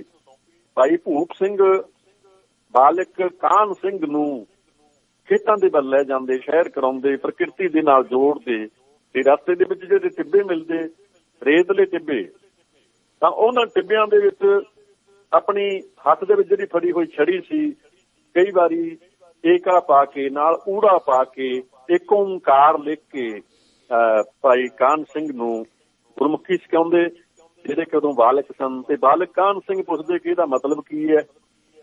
ਤਾਂ ਭੂਪ ਸਿੰਘ ਜੀ ਦੱਸਦੇ ਕਿ ਜਿਹੜਾ ਇੱਕ ਓੰਕਾਰ ਹੈ, ਇਹੋ ਹੀ ਸਾਡਾ ਮੂਲ ਹੈ, ਇਹੋ ਹੀ ਪਰਮ ਸ਼ਕਤੀ ਹੈ, ਇਹੋ ਹੀ ਸਾਡਾ ਬ੍ਰਹਮ ਹੈ, ਇਹੋ ਹੀ ਸਾਡਾ ਪਰਮਾਤਮਾ ਹੈ, ਜਿੱਥੋਂ ਕਿ ਸਾਰੀ ਸ੍ਰਿਸ਼ਟੀ ਪੈਦਾ ਹੁੰਦੀ ਹੈ। ਤੋਂ ਇਸ ਤਰ੍ਹਾਂ ਬਚਪਨ ਦੇ ਵਿੱਚ ਹੀ ਮਹਾਨ ਉਸਤਾਦਾਂ ਨੇ, ਭੂਪ ਸਿੰਘ ਵਰਗੇ ਮਹਾਨ ਉਸਤਾਦਾਂ ਨੇ ਵਾਲਿਕ ਕਾਨ ਸਿੰਘ ਨੂੰ ਇੱਕ ਪਰਮ ਸ਼ਕਤੀ ਦੇ ਨਾਲ ਜੋੜ ਦਿੱਤਾ, ਪਰਮ ਚੇਤਨਾ ਦੇ ਨਾਲ ਜੋੜ ਦਿੱਤਾ, ਤਾਂ ਉਹਨਾਂ ਦਾ ਜਿਹੜਾ ਇਥੋਂ ਆਰੰਭ ਹੁੰਦਾ ਹੈ, ਤਾਂ ਫਿਰ ਹੋਰ ਤਰ੍ਹਾਂ ਤਰ੍ਹਾਂ ਦੀ ਵਿਦਿਆ ਦੇ ਨਾਲ ਉਹਨਾਂ ਦਾ ਸ਼ੌਂਕ ਪੈਦਾ ਹੁੰਦਾ ਹੈ। ਪੰਡਤ ਬੰਸੀਧਰ ਜੀ, ਪੰਡਤ ਸ੍ਰੀਧਰ ਜੀ, ਬਾਬਾ ਪਰਮਾਨੰਦ ਜੀ, ਭਾਈ ਵੀਰ ਸਿੰਘ ਜਲਾਲ ਕੇ, ਬਹੁਤ ਸਾਰੇ ਵਿਦਵਾਨਾਂ ਦੇ ਪਾਸੋਂ ਭਾਈ ਕਾਨ ਸਿੰਘ ਨਾਭਾ ਨੇ ਤਰ੍ਹਾਂ ਤਰ੍ਹਾਂ ਦੀ ਵਿਦਿਆ ਲਈ। ਤੇ ਕਾਵ ਰਚਨਾ ਦੀ ਜਿਹੜੀ ਵਿਦਿਆ ਹੈ, ਉਹ ਭਗਵਾਨ ਸਿੰਘ ਦੁੱਗਾ ਵਾਲਿਆਂ ਦੇ ਕੋਲੋਂ, ਭਾਈ ਕਾਨ ਸਿੰਘ ਨਾਭਾ ਨੇ ਹਾਸਲ ਕੀਤੀ ਤੇ ਸੰਗੀਤ ਦਾ ਵੀ ਉਹਨਾਂ ਨੂੰ ਸ਼ੌਂਕ ਸੀ। ਸੰਗੀਤ ਦੀ ਜਿਹੜੀ ਸਿੱਖਿਆ ਹੈ, ਉਹ ਮਹੰਤ ਗੱਜਾ ਸਿੰਘ, ਗੁਰੂ ਸਰ ਮਹਾਰਾਜ ਵਾਲਿਆਂ ਕੋਲੋਂ ਭਾਈ ਕਾਨ ਸਿੰਘ ਨਾਭਾ ਨੇ ਪ੍ਰਾਪਤ ਕੀਤੀ। ਤੋਂ ਤਰ੍ਹਾਂ ਤਰ੍ਹਾਂ ਦੀ ਵਿਦਿਆ ਪ੍ਰਾਪਤ ਕਰਕੇ ਜਦੋਂ ਥੋੜੇ ਜਿਹੇ ਵੱਡੇ ਹੋ ਜਾਂਦੇ ਨੇ, ਤਾਂ ਭਾਈ ਕਾਨ ਸਿੰਘ ਨਾਭਾ ਦੇ ਮਨ ਦੇ ਵਿੱਚ ਇੱਛਾ ਪੈਦਾ ਹੁੰਦੀ ਹੈ ਕਿ ਗੁਰਬਾਣੀ ਇਹ ਸਾਡੇ ਜਿਹੜੇ ਸਿੱਖ ਧਰਮ ਦੇ ਗ੍ਰੰਥ ਨੇ ਇਹਨਾਂ ਦੇ ਵਿੱਚ ਕਿਸੇ ਇੱਕ ਬੋਲੀ ਦੀ ਵਰਤੋਂ ਨਹੀਂ ਹੋਈ। ਇੱਥੇ ਸਿਰਫ ਗੁਰਮੁਖੀ ਜਾਂ ਹਿੰਦੀ ਨਹੀਂ ਹੈ। ਇੱਥੇ ਬਹੁਤ ਸਾਰੀ ਬੋਲ- ਬੋਲੀਆਂ ਦਾ ਮਿਸ਼ਰਣ ਹੈ। ਤਾਂ ਉਹਨਾਂ ਦੇ ਮਨ ਦੇ ਵਿੱਚ ਇੱਛਾ ਹੋਈ ਕਿ ਜੇਕਰ ਗੁਰਬਾਣੀ ਦੇ ਅਸਲੀ ਅਰਥ ਜਾਣਨੇ ਨੇ ਜਾਂ ਸਾਡੇ ਸਿੱਖ ਧਰਮ ਦੇ ਗ੍ਰੰਥਾਂ ਦੇ ਗਹਿਰਾਈ ਦੇ ਨਾਲ ਭਾਵ ਅਸੀਂ ਜਾਣਨੇ ਨੇ ਤਾਂ ਜ਼ਰੂਰੀ ਹੈ ਫਾਰਸੀ ਵੀ ਪੜ੍ਹੀ ਜਾਵੇ। ਤਾਂ। ਫਾਰਸੀ ਪੜ੍ਹਨ ਦੀ ਇੱਛਾ ਪੈਦਾ ਹੋਈ ਤਾਂ ਜਦੋਂ ਫਾਰਸੀ ਪੜ੍ਹਨ ਦੀ ਇੱਛਾ ਜਾਗੀ ਬਾਬਾ ਨਰੈਣ ਸਿੰਘ ਜੀ ਨੇ ਫਾਰਸੀ ਪੜ੍ਹਨ ਦੀ ਲਾ ਦਿੱਤੇ। ਪਰੰਤੂ ਉਸ ਮੌਕੇ ਦੇ ਕੁਝ ਜਿਹੜੇ ਪਛਾਣ ਖਿੱਚੂ ਉਹ ਸਿੱਖ ਸਨ ਸ਼ਰਧਾਲੂ ਸਨ। ਉਹਨਾਂ ਨੇ ਇਸ ਦਾ ਵਿਰੋਧ ਕੀਤਾ ਕਿਉਂਕਿ ਉਹ ਸੋਚਦੇ ਸਨ ਕਿ ਫਾਰਸੀ ਤਾਂ ਜਿਹੜੀ ਭਾਸ਼ਾ ਹੈ ਇਹ ਮਲੇਸ਼ ਭਾਸ਼ਾ ਹੈ। ਇਹ ਤਾਂ। ਮੁਸਲਮਾਨਾਂ ਦੀ ਭਾਸ਼ਾ ਹੈ। ਤੇ ਉਹਨਾਂ ਦੀ ਜਿਹੜੀ ਤੰਗ ਸੋਚ ਸੀ ਥੋੜੀ ਸੋਚ ਸੀ ਪਿਛਾਂ ਖਿੱਚੋ ਉਹਨਾਂ ਦੇ ਖਿਆਲ ਸਨ। ਇਸ ਕਰਕੇ ਬਾਬਾ ਨਰੈਣ ਸਿੰਘ ਜੀ ਖੁਦ ਤਾਂ ਨਹੀਂ ਚਾਹੁੰਦੇ ਸਨ ਪਰ ਮਜਬੂਰ ਹੋ ਕੇ ਬਾਲਕ ਕਾਨ ਸਿੰਘ ਨੂੰ ਫਾਰਸੀ ਪੜ੍ਹਨੋਂ ਹਟਾ ਲਿਆ। ਜੀ ਮਾਨ ਸਾਹਿਬ ਮੈਂ ਗੱਲ ਕਰ ਰਿਹਾ ਆ ਬਹੁਤ ਬਹੁਤ ਮਿਹਰਬਾਨੀ ਹਾਂ, ਤੁਸੀਂ। ਤੁਸੀਂ ਇਹਦਾ ਸਾਰਾ ਵੇਰਵਾ। ਸੁਣਾ ਰਹੇ ਹੋ। ਆ, ਸੰਸਕ੍ਰਿਤ ਵੀ ਕਿਉਂਕਿ ਉਸ ਸਮੇਂ ਦੇ ਗ੍ਰੰਥਾਂ ਦੇ ਗ੍ਰੰਥਾਂ ਵਾਸਤੇ ਇੱਕ ਵੱਡੀ ਜ਼ੁਬਾਨ ਸੀ ਔਰ ਭਾਈ ਸਾਹਿਬ ਨੇ ਉਹ ਵੀ ਸਿੱਖੀ, ਉਹਦਾ ਵੀ ਥੋੜਾ ਵਿੱਚ ਦੀ ਵੇਰਵਾ ਦੇ, ਦੇਂਦੇ ਜਾਓ ਤਾਂ ਚੰਗਾ ਲੱਗੇਗਾ। ਜੀ ਪਾਠਵਾ ਜੀ। ਹਾਂ, ਜੀ ਮਾਨ ਸਾਹਿਬ ਜਿਹੜੀ ਸੰਸਕ੍ਰਿਤ ਦੀ ਸਿੱਖਿਆ ਹੈ, ਉਸ ਮੌਕੇ ਦੇ ਤਿੰਨ ਜਿਹੜੇ ਵਿਦਵਾਨ ਸਨ, ਪੰਡਤ ਬੰਸੀਧਰ ਜੀ, ਪੰਡਤ ਸ੍ਰੀਧਰ ਜੀ ਬਾਬਾ ਪਰਮਾਨੰਦ ਜੀ। ਤੇ ਵਿਆਕਰਨ ਦੇ, ਨਿਆਏ ਵਿਦਿਆ ਦੇ ਤਰਕ ਸ਼ਾਸਤਰ ਦੇ, ਤੇ ਨਾਲ ਹੀ ਸੰਸਕ੍ਰਿਤ ਦੇ ਵੀ ਇਹ ਵਿਦਵਾਨ ਸਨ। ਤੋਂ ਸੰਸਕ੍ਰਿਤ ਦੀ ਵੀ ਸਿੱਖਿਆ ਲਈ। ਪਰੰਤੂ ਸੰਸਕ੍ਰਿਤ ਦੀ ਸਿੱਖਿਆ ਲੈਣ ਵਾਸਤੇ ਰੱਜ ਭਾਸ਼ਾ ਦੀ ਸਿੱਖਿਆ ਲੈਣ ਵਾਸਤੇ ਹਿੰਦੀ ਦੀ ਸਿੱਖਿਆ ਲੈਣ ਵਾਸਤੇ ਗੁਰਮੁਖੀ ਦੀ ਸਿੱਖਿਆ ਲੈਣ ਵਾਸਤੇ ਅਹ, ਬਾਲਕ ਕਾਨ ਸਿੰਘ ਨੂੰ ਕੋਈ ਸਮੱਸਿਆ ਨਹੀਂ ਆਈ। ਫਾਰਸੀ ਦੀ ਸਿੱਖਿਆ ਲੈਣ ਵਾਸਤੇ ਸਮੱਸਿਆ ਆਈ ਤੇ ਉਹਨਾਂ ਦੀ ਜਿਹੜੀ ਸਿੱਖਿਆ ਬੰਦ ਕਰ ਦਿੱਤੀ ਪਰ ਉਹਨਾਂ ਨੇ ਜ਼ਿਆਦਾ ਦੇਰ ਇਹ ਜਿਹੜਾ ਵਿਚਾਰ ਹੈ ਇਸ ਨੂੰ ਮੰਨਿਆ ਨਹੀਂ ਕਿਉਂਕਿ ਉਹ ਸੋਚਦੇ ਸਨ ਕਿ ਸਭ ਦੇਸ਼ ਭਾਸ਼ਾ ਜਿਹੜੇ ਸਾਰੇ ਦੇਸ਼ਾਂ ਦੀ ਜਿਹੜੀ ਭਾਸ਼ਾ ਹੈ, ਸਾਰੇ ਦੇਸ਼ਾਂ ਦੀ ਜਿਹੜੀ ਬੋਲੀ ਹੈ, ਉਹ ਕਿਤੇ ਵੀ ਮਾੜੀ ਨਹੀਂ ਹੁੰਦੀ। ਕਿਸੇ ਵੀ ਬੋਲੀ ਵਿੱਚ ਪ੍ਰਗਟਾਏ ਹੋਏ ਜਿਹੜੇ ਵਿਚਾਰ ਨੇ, ਉਹ ਚੰਗੇ ਵੀ ਹੋ ਸਕਦੇ ਨੇ, ਮੰਦੇ ਵੀ ਹੋ ਸਕਦੇ ਨੇ। ਸੋ ਕੋਈ ਵੀ ਦੇਸ਼ ਦੀ ਜਿਹੜੀ ਭਾਸ਼ਾ ਕਿਤੇ ਵੀ ਹੋਵੇ, ਉਹ ਮਾੜੀ ਨਹੀਂ ਹੋ ਸਕਦੀ। ਇੱਕ ਦਿਨ ਘਰੋਂ ਨਿਕਲ ਤੁਰਦੇ ਨੇ, ਪਹਿਲਾਂ ਦਿੱਲੀ ਜਾਂਦੇ ਨੇ, ਫਿਰ ਲਖਨਊ ਜਾਂਦੇ ਨੇ, ਕਈ ਵਿਦਵਾਨਾਂ ਦੇ ਪਾਸੋਂ ਆਪ ਦੀ ਸਿੱਖਿਆ ਲੈ ਕੇ ਤੇ ਫਿਰ ਸਿੱਧੇ ਲਾਹੌਰ ਪਹੁੰਚ ਜਾਂਦੇ ਨੇ। ਲਾਹੌਰ ਜੀ। ਜਿਹੜਾ ਕਿ ਉਸ ਮੌਕੇ ਸਿੱਖ ਰਾਜਨੀਤੀ ਦਾ ਇੱਕ ਬਹੁਤ ਵੱਡਾ ਕੇਂਦਰ ਬਣਿਆ ਹੋਇਆ ਸੀ। ਇੱਥੇ ਗੁਰਦੁਆਰਾ ਦੇਰਾ ਸਾਹਿਬ ਦੇ ਵਿੱਚ ਗਿਆਨੀ ਸੰਤ ਸਿੰਘ ਜੀ ਪਾਸ ਜਾ ਕੇ ਇੱਕ ਦਿਨ ਕਥਾ ਕਰਦੇ ਨੇ। ਕਥਾ ਕਰਦੇ ਹੋਏ ਜਦੋਂ ਗੁਰਦੁਆਰੇ ਦੇ ਵਿੱਚ ਬੈਠੇ ਨੇ, ਤਾਂ ਉੱਥੇ ਹੀ professor Gurmukh Singh oriental college ਵਾਲੇ ਬੈਠੇ ਹੁੰਦੇ ਨੇ। ਜਦ ਉਹਨਾਂ ਦੀ ਨਿਗਾਹ ਇਹ ਨੌਜਵਾਨ ਕਾਨ ਸਿੰਘ ਦੇ ਉੱਪਰ ਪਈ, ਉਹ ਹੈਰਾਨ ਰਹਿ ਗਏ। ਉਹਨਾਂ ਨੇ ਨੌਜਵਾਨ ਕਾਨ ਸਿੰਘ ਵੱਲੋਂ ਜਿਹੜੀ ਗੁਰਬਾਣੀ ਦੀ ਕਥਾ ਕੀਤੀ ਜਾ ਰਹੀ ਸੀ ਉਹ ਨੋਟ ਕੀਤੀ ਤੇ ਬਾਅਦ ਦੇ ਵਿੱਚ ਮਿਲੇ ਤੇ ਮਨ ਦੇ ਵਿੱਚ ਸੋਚਿਆ ਕਿ ਇਹ ਹਨ ਉਹ ਜਿਨ੍ਹਾਂ ਦੀ ਕਿ ਮੈਂ ਭਾਲ ਕਰ ਰਿਹਾ ਸੀ ਬਾਲਕ। ਕਾਨ ਸਿੰਘ ਦੇ ਨਾਲ ਜਵਾਨੀ ਦੇ ਵਿੱਚ ਜਦੋਂ ਕਾਨ ਸਿੰਘ ਹੁੰਦੇ ਸਨ professor Gurmukh Singh oriental college ਵਾਲਿਆਂ ਦੀ ਮੁਲਾਕਾਤ ਹੋਈ ਤੇ ਉਹਨਾਂ ਨੇ ਭਾਈ ਕਾਨ ਸਿੰਘ ਨੂੰ ਹੋਰ ਪ੍ਰੇਰਿਤ ਕੀਤਾ ਕਿ ਅੱਜ ਤਾਂ ਸਾਨੂੰ ਸਾਡੀ ਵਿਰਾਸਤ ਦੇ ਨਾਲ ਜੁੜਨ ਦੀ ਲੋੜ ਹੈ। ਅੱਜ ਤਾਂ ਸਾਨੂੰ ਆਪਣੇ ਵਿਰਸੇ ਨਾਲ ਜੁੜਨ ਦੀ ਲੋੜ ਹੈ ਗੁਰਬਾਣੀ ਦੀ ਵਿਆਖਿਆ ਦੀ ਲੋੜ ਹੈ ਗੁਰਮਤ ਦੇ ਨਾਲ ਲੋਕਾਂ ਨੂੰ ਜੋੜਨ ਦੀ ਲੋੜ ਹੈ। ਕਿਉਂਕਿ ਦੂਜੇ ਪਾਸੇ ਸਾਡੇ ਸਮਾਜ ਦੇ ਜਿਹੜੇ ਲੋਕ ਸਨ ਖਾਸ ਕਰਕੇ ਸਿੱਖ ਸਮਾਜ ਦੇ ਉਹ ਸਿੱਖੀ ਨੂੰ ਛੱਡ ਕੇ ਦੂਜੇ ਪਾਸੇ ਜਾਂਦੇ ਜਾ ਰਹੇ ਸਨ। ਇਸੇ ਕਰਕੇ ਲਾਹੌਰ ਦੇ ਵਿੱਚ ਉਸ ਮੌਕੇ ਜਿਹੜੇ ਉਸ ਮੌਕੇ ਦੇ ਵਿਦਵਾਨ ਸਨ ਉਹਨਾਂ ਨੇ ਸਿੰਘ ਸਭਾ ਲਹਿਰ ਦੇ ਰਾਹੀਂ ਆਪਣੇ ਵਿਰਸੇ ਦਾ ਜਿਹੜਾ ਪ੍ਰਚਾਰ ਹੈ ਉਹ ਕਰਨਾ ਸ਼ੁਰੂ ਕਰ ਦਿੱਤਾ ਸੀ। ਤੋਂ ਇਹ ਵਿਦਵਾਨਾਂ ਦੇ ਵਿੱਚ ਪ੍ਰੋਫੈਸਰ ਗੁਰਮੁਖ ਸਿੰਘ ਜੀ ਇੱਕ ਪ੍ਰਮੁੱਖ ਵਿਦਵਾਨ ਸਨ ਜਿਹੜੇ ਕਿ। ਗੁਰਮੁਖੀ ਦੇ ਵਿੱਚ ਆਪਣਾ ਅਖਬਾਰ ਵੀ ਕੱਢਦੇ ਸਨ ਗੁਰਮੁਖੀ ਦੇ ਵਿੱਚ ਹੋਰ ਵੀ ਕਈ ਕੰਮ ਕਰਦੇ ਸਨ। ਤਾਂ ਇਹਨਾਂ ਨੇ ਹੀ ਬਾਲਕ ਕਾਨ ਸਿੰਘ ਨੂੰ ਉਸ ਮੌਕੇ ਪ੍ਰੇਰਿਤ ਕੀਤਾ ਕਿ ਸਾਡੀ ਮਾਂ ਬੋਲੀ ਪੰਜਾਬੀ ਦੇ ਵਿੱਚ ਅੱਜ ਬਹੁਤ ਕੁਝ ਕਰਨ ਦੀ ਜ਼ਰੂਰਤ ਹੈ। ਤੋਂ ਬਹੁਤ ਗਹਿਰਾ ਅਸਰ ਕਾਨ ਸਿੰਘ ਤੇ ਪਿਆ। ਤਾਂ ਇੱਥੋਂ ਸਿੱਧੇ ਜਦੋਂ ਵਾਪਸ ਲਾਹੌਰ ਤੋਂ ਨਾਭੇ ਆਉਂਦੇ ਨੇ, ਜਵਾਨੀ ਦੇ ਦਿਨਾਂ ਦੇ ਵਿੱਚ, ਤਾਂ ਇੱਥੇ ਮਹਾਰਾਜਾ ਹੀਰਾ ਸਿੰਘ ਨੂੰ ਮਿਲਦੇ ਨੇ, ਫਤਿਹ ਬੁਲਾਉਂਦੇ ਨੇ, ਨਮਸਕਾਰ ਕਰਦੇ ਨੇ। ਮਹਾਰਾਜਾ ਹੀਰਾ ਸਿੰਘ ਵੀ ਇਹ ਨੌਜਵਾਨ ਤੋਂ ਇੰਨੇ ਪ੍ਰਭਾਵਿਤ ਹੁੰਦੇ ਨੇ, ਇਹਨਾਂ ਦੀਆਂ ਗੱਲਾਂ ਤੋਂ, ਇਹਨਾਂ ਦੀ ਵਿਦਵਤਾ ਤੋਂ। ਮਹਾਰਾਜਾ ਹੀਰਾ ਸਿੰਘ ਇੰਨੇ ਪ੍ਰਭਾਵਿਤ ਹੋਏ ਕਿ ਉਹਨਾਂ ਨੇ ਹਮੇਸ਼ਾ ਵਾਸਤੇ ਨਾਭਾ ਦਰਬਾਰ ਦੇ ਨਾਲ ਭਾਈ ਕਾਨ ਸਿੰਘ ਨਾਭਾ ਨੂੰ ਜੋੜ ਲਿਆ। ਤੇ ਇਸੇ ਦੌਰਾਨ ਹੀ ਪਰਿਵਾਰ ਦੇ ਵਿੱਚ ਵੀ ਭਾਈ ਕਾਨ ਸਿੰਘ ਨਾਭਾ ਦੇ ਬਾਰੇ ਸੁਪਨੇ ਸਨ ਜਦੋਂ ਕੋਈ ਬਾਲਕ ਜਵਾਨ ਹੁੰਦਾ ਹੈ? ਭਾਈ ਕਾਨ ਸਿੰਘ ਦੀ ਸ਼ਾਦੀ ਹੋਈ। ਉਹਨਾਂ ਦੀ ਪਹਿਲੀ ਸ਼ਾਦੀ ਜਿਹੜੀ ਹੈ ਰਿਆਸਤ ਪਟਿਆਲਾ ਦੇ ਪਿੰਡ ਧੂਰੇ ਦੇ ਵਿੱਚ ਹੋਈ। ਪਰੰਤੂ ਜਿਹੜੀ ਲੜਕੀ ਨਾਲ ਸ਼ਾਦੀ ਹੋਈ ਉਹਦੀ ਜਲਦੀ ਮੌਤ ਹੋ ਗਈ। ਜੀ। ਤਾਂ ਦੂਜਾ ਵਿਆਹ ਭਾਈ ਕਾਨ ਸਿੰਘ ਨਾਭਾ ਦਾ ਦੂਜਾ ਜਿਹੜਾ ਵਿਆਹ ਹੈ ਦੂਜੀ ਜਿਹੜੀ ਸ਼ਾਦੀ ਹੈ ਉਹ ਮੁਕਸਰ ਦੇ ਵਿੱਚ ਹੋਈ। ਪਰੰਤੂ ਪ੍ਰਮਾਤਮਾ ਨੂੰ ਪਤਾ ਨਹੀਂ ਕੀ ਮਨਜ਼ੂਰ ਸੀ। ਦੂਜੀ ਪਤਨੀ ਵੀ ਕਿਸੇ ਕਾਰਨ ਕਰਕੇ ਜਲਦੀ ਪ੍ਰਮਾਤਮਾ ਨੂੰ ਪਿਆਰੀ ਹੋ ਗਈ, ਉਹਦਾ ਦੇਹਾਂਤ ਹੋ ਗਿਆ। ਤਾਂ ਤੀਜੀ ਸ਼ਾਦੀ, ਭਾਈ ਕਾਨ ਸਿੰਘ ਨਾਭਾ ਦਾ ਤੀਜਾ ਵਿਆਹ ਰਿਆਸਤ ਪਟਿਆਲਾ ਦੇ ਪਿੰਡ ਰਾਮਗੜ੍ਹ ਦੇ ਪਾਸ ਰਿਆਸਤ ਪਟਿਆਲਾ ਦੇ ਵਿੱਚ ਭਵਾਨੀਗੜ੍ਹ ਸ਼ਹਿਰ ਦੇ ਪਾਸ, ਪਿੰਡ ਰਾਮਗੜ੍ਹ ਦੇ ਵਿੱਚ ਸਰਦਾਰ ਹਰਦਮ ਸਿੰਘ ਦੀ ਧੀ ਬੀਬੀ ਬਸੰਤ ਕੌਰ ਦੇ ਨਾਲ ਹੋਇਆ। ਬੀਬੀ ਬਸੰਤ ਕੌਰ ਦੇ ਨਾਲ ਵਿਆਹ ਹੋਣ ਤੋਂ ਬਾਅਦ ਜਦੋਂ ਬਸੰਤ ਕੌਰ ਭਾਈ ਸਾਹਿਬ ਦੇ ਘਰ ਆਈ ਤਾਂ ਇਹਨਾਂ ਦਾ ਘਰ ਬਸੰਤ ਦੇ ਵਾਂਗ ਹੀ ਖਿਲ ਗਿਆ ਤੇ 1892 ਦੇ ਵਿੱਚ ਭਾਈ ਕਾਨ ਸਿੰਘ ਨਾਭਾ ਦੇ ਗ੍ਰਹਿ ਵਿਖੇ ਇਹਨਾਂ ਦੇ ਬੇਟੇ ਭਗਵੰਤ ਭਗਵੰਤ ਸਿੰਘ ਹਰੀ ਜੀ ਦਾ ਜਨਮ ਹੋਇਆ, ਜਿਹੜੇ ਕਿ ਆਪ ਵੀ ਇੱਕ ਚੰਗੇ ਵਿਦਵਾਨ ਹੋਏ ਨੇ। ਤੋਂ ਗ੍ਰਸਤੀ ਜੀਵਨ ਨੂੰ ਚਲਾਉਂਦਿਆਂ ਚਲਾਉਂਦਿਆਂ ਨਾਲ ਹੀ ਡਾਕਟਰ ਭਾਟਵਾ ਜੀ ਮੈਂ ਸਿਰਫ ਇੱਕ ਇਹ- ਇਹਦਾ ਸਿਰਫ ਜ਼ਿਕਰ ਕਰਨ ਵਾਸਤੇ ਹੀ ਮੈਂ ਆਪਣੇ ਆਪ ਨੂੰ ਬਹੁਤ ਖੁਸ਼ਕਿਸਮਤ ਸਮਝਦਾ ਹਾਂ ਵੀ ਮੈਨੂੰ ਭਗਵੰਤ ਹਰੀ ਜੀ ਦੇ ਦਰਸ਼ਨ ਕਰਨ ਦਾ ਮੌਕਾ ਬਣਿਆ। ਵਾਹ ਵਾਹ ਬਹੁਤ ਅੱਛਾ ਮਾਨ ਸਾਹਿਬ ਜੀ ਬਹੁਤ ਅੱਛਾ ਜੀ। ਜੀ। ਤੋ ਮਾਨ ਸਾਹਿਬ ਜੀ ਇਸੇ ਦੌਰਾਨ ਹੀ ਪਰਿਵਾਰਕ ਗ੍ਰਸਤੀ ਜੀਵਨ ਨੂੰ ਨਿਭਾਉਂਦਿਆਂ ਹੋਇਆਂ ਨਾਲ ਦੀ ਨਾਲ ਭਾਈ ਕਾਨ ਸਿੰਘ ਨੂੰ ਮਹਾਰਾਜਾ ਹੀਰਾ ਸਿੰਘ ਨੇ ਯੋਗ ਸਮਝ ਕੇ ਆਪਣੇ ਬੇਟੇ ਰਾਜਕੁਮਾਰ ਦਿਪਦਮਨ ਸਿੰਘ ਦੀ ਜ਼ਿੰਮੇਵਾਰੀ ਸੌਂਪੀ।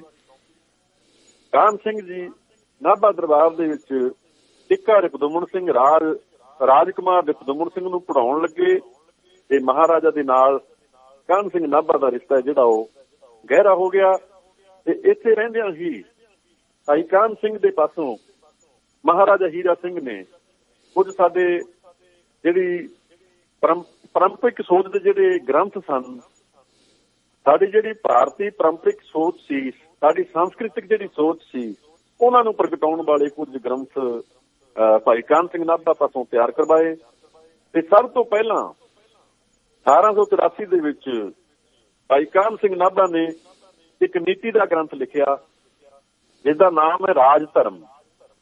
ਵਾਹ। ਰਾਜ ਧਰਮ ਜਿਹੜਾ ਗ੍ਰੰਥ ਹੈ ਇਹ ਨਾ ਸਿੱਖਾਂ ਵਾਸਤੇ ਲਿਖਿਆ ਗਿਆ ਨਾ ਹਿੰਦੂਆਂ ਵਾਸਤੇ ਲਿਖਿਆ ਨਾ ਮੁਸਲਮਾਨਾਂ ਵਾਸਤੇ ਲਿਖਿਆ। ਇਹ ਪੂਰੇ ਸਮਾਜ ਵਾਸਤੇ ਲਿਖਿਆ ਗਿਆ ਕਿ ਸਾਡਾ ਸਮਾਜ ਕਿਵੇਂ ਚੰਗਾ ਹੋਵੇ ਅਸੀਂ ਚੰਗੇ ਇਨਸਾਨ ਕਿਵੇਂ ਬਣੇ ਬਣੀਏ। ਤੇ ਜਿਹੜੇ ਲੋਕਾਂ ਤੇ ਰਾਜ ਕਰਦੇ ਨੇ ਰਾਜ ਕਰਨ ਵਾਲੇ ਰਾਜੇ ਉਹ ਕਿਹੋ ਜਿਹੇ ਹੋਣੇ ਚਾਹੀਦੇ ਨੇ? ਤੋ ਸਾਰੇ ਗ੍ਰੰਥ ਨੂੰ ਜਦੋਂ ਪੜ੍ਹ ਕੇ ਵੇਖਿਆ ਜਾਂਦਾ ਹੈ, ਤਾਂ ਇਹਦੇ ਵਿੱਚੋਂ ਇੱਕੋ ਹੀ ਗੱਲ ਸਾਹਮਣੇ ਆਉਂਦੀ ਹੈ ਕਿ ਰਾਜਿਆਂ ਨੂੰ ਤੇ ਆਮ ਲੋਕਾਂ ਨੂੰ ਚਰਿੱਤਰਵਾਨ ਬਣਨਾ ਚਾਹੀਦਾ ਹੈ। ਇਹੋ ਹੀ ਗੁਰਬਾਣੀ ਦੇ ਵਿੱਚ ਦੱਸਿਆ ਹੈ। ਗੁਰਬਾਣੀ ਵੀ ਸਾਨੂੰ ਕਹਿੰਦੀ ਹੈ ਕਿ ਬਈ ਅਸੀਂ ਜਨਮ ਲਿਆ ਸੰਸਾਰ ਦੇ ਵਿੱਚ ਸਭ ਤੋਂ ਉੱਤਮ ਕਿਹੜੀ ਚੀਜ਼ ਹੈ?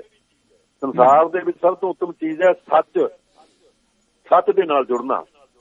ਤੇ ਸੱਚ ਤੋਂ ਵੀ ਵੱਡਾ ਜਿਹੜੀ ਗੱਲ ਕੀਤੀ ਹੈ ਗੁਰਬਾਣੀ ਦੇ ਵਿੱਚ ਉਹ ਦੱਸਿਆ ਕਿ ਜਿਹੜਾ ਆਚਾਰ ਹੈ ਆਚਰਣ ਹੈ ਕਰੈਕਟਰ ਹੈ ਜਿਹੜਾ ਇਹ ਸੱਚ ਤੋਂ ਵੀ ਵੱਡਾ ਹੈ। ਸੱਚੋਂ ਉਰੇ ਸਭ ਕੋ ਉੱਪਰ ਸੱਚ ਆਚਾਰ। ਤੋਂ ਆਚਾਰ ਤੇ ਬਹੁਤ ਜ਼ੋਰ ਦਿੱਤਾ ਹੈ। ਜਿਹੜੇ ਬੰਦੇ ਕੋਲੇ ਆਚਾਰ ਹੋਏਗਾ ਉਹ ਹੀ ਜਿਹੜਾ ਪਰਮ ਸ਼ਕਤੀਮਾਨ ਦੇ ਨਾਲ ਸੱਚ ਦੇ ਨਾਲ ਜੁੜ ਸਕਦਾ ਹੈ ਪ੍ਰਮਾਤਮਾ ਦੇ ਨਾਲ ਅਭੇਦ ਹੋ ਸਕਦਾ ਹੈ। ਤੋਂ ਇਹ ਗ੍ਰੰਥ ਨੂੰ ਵੇਖ ਕੇ ਮਹਾਰਾਜਾ ਹੀਰਾ ਸਿੰਘ ਬੜੇ ਪ੍ਰਭਾਵਿਤ ਹੋਏ।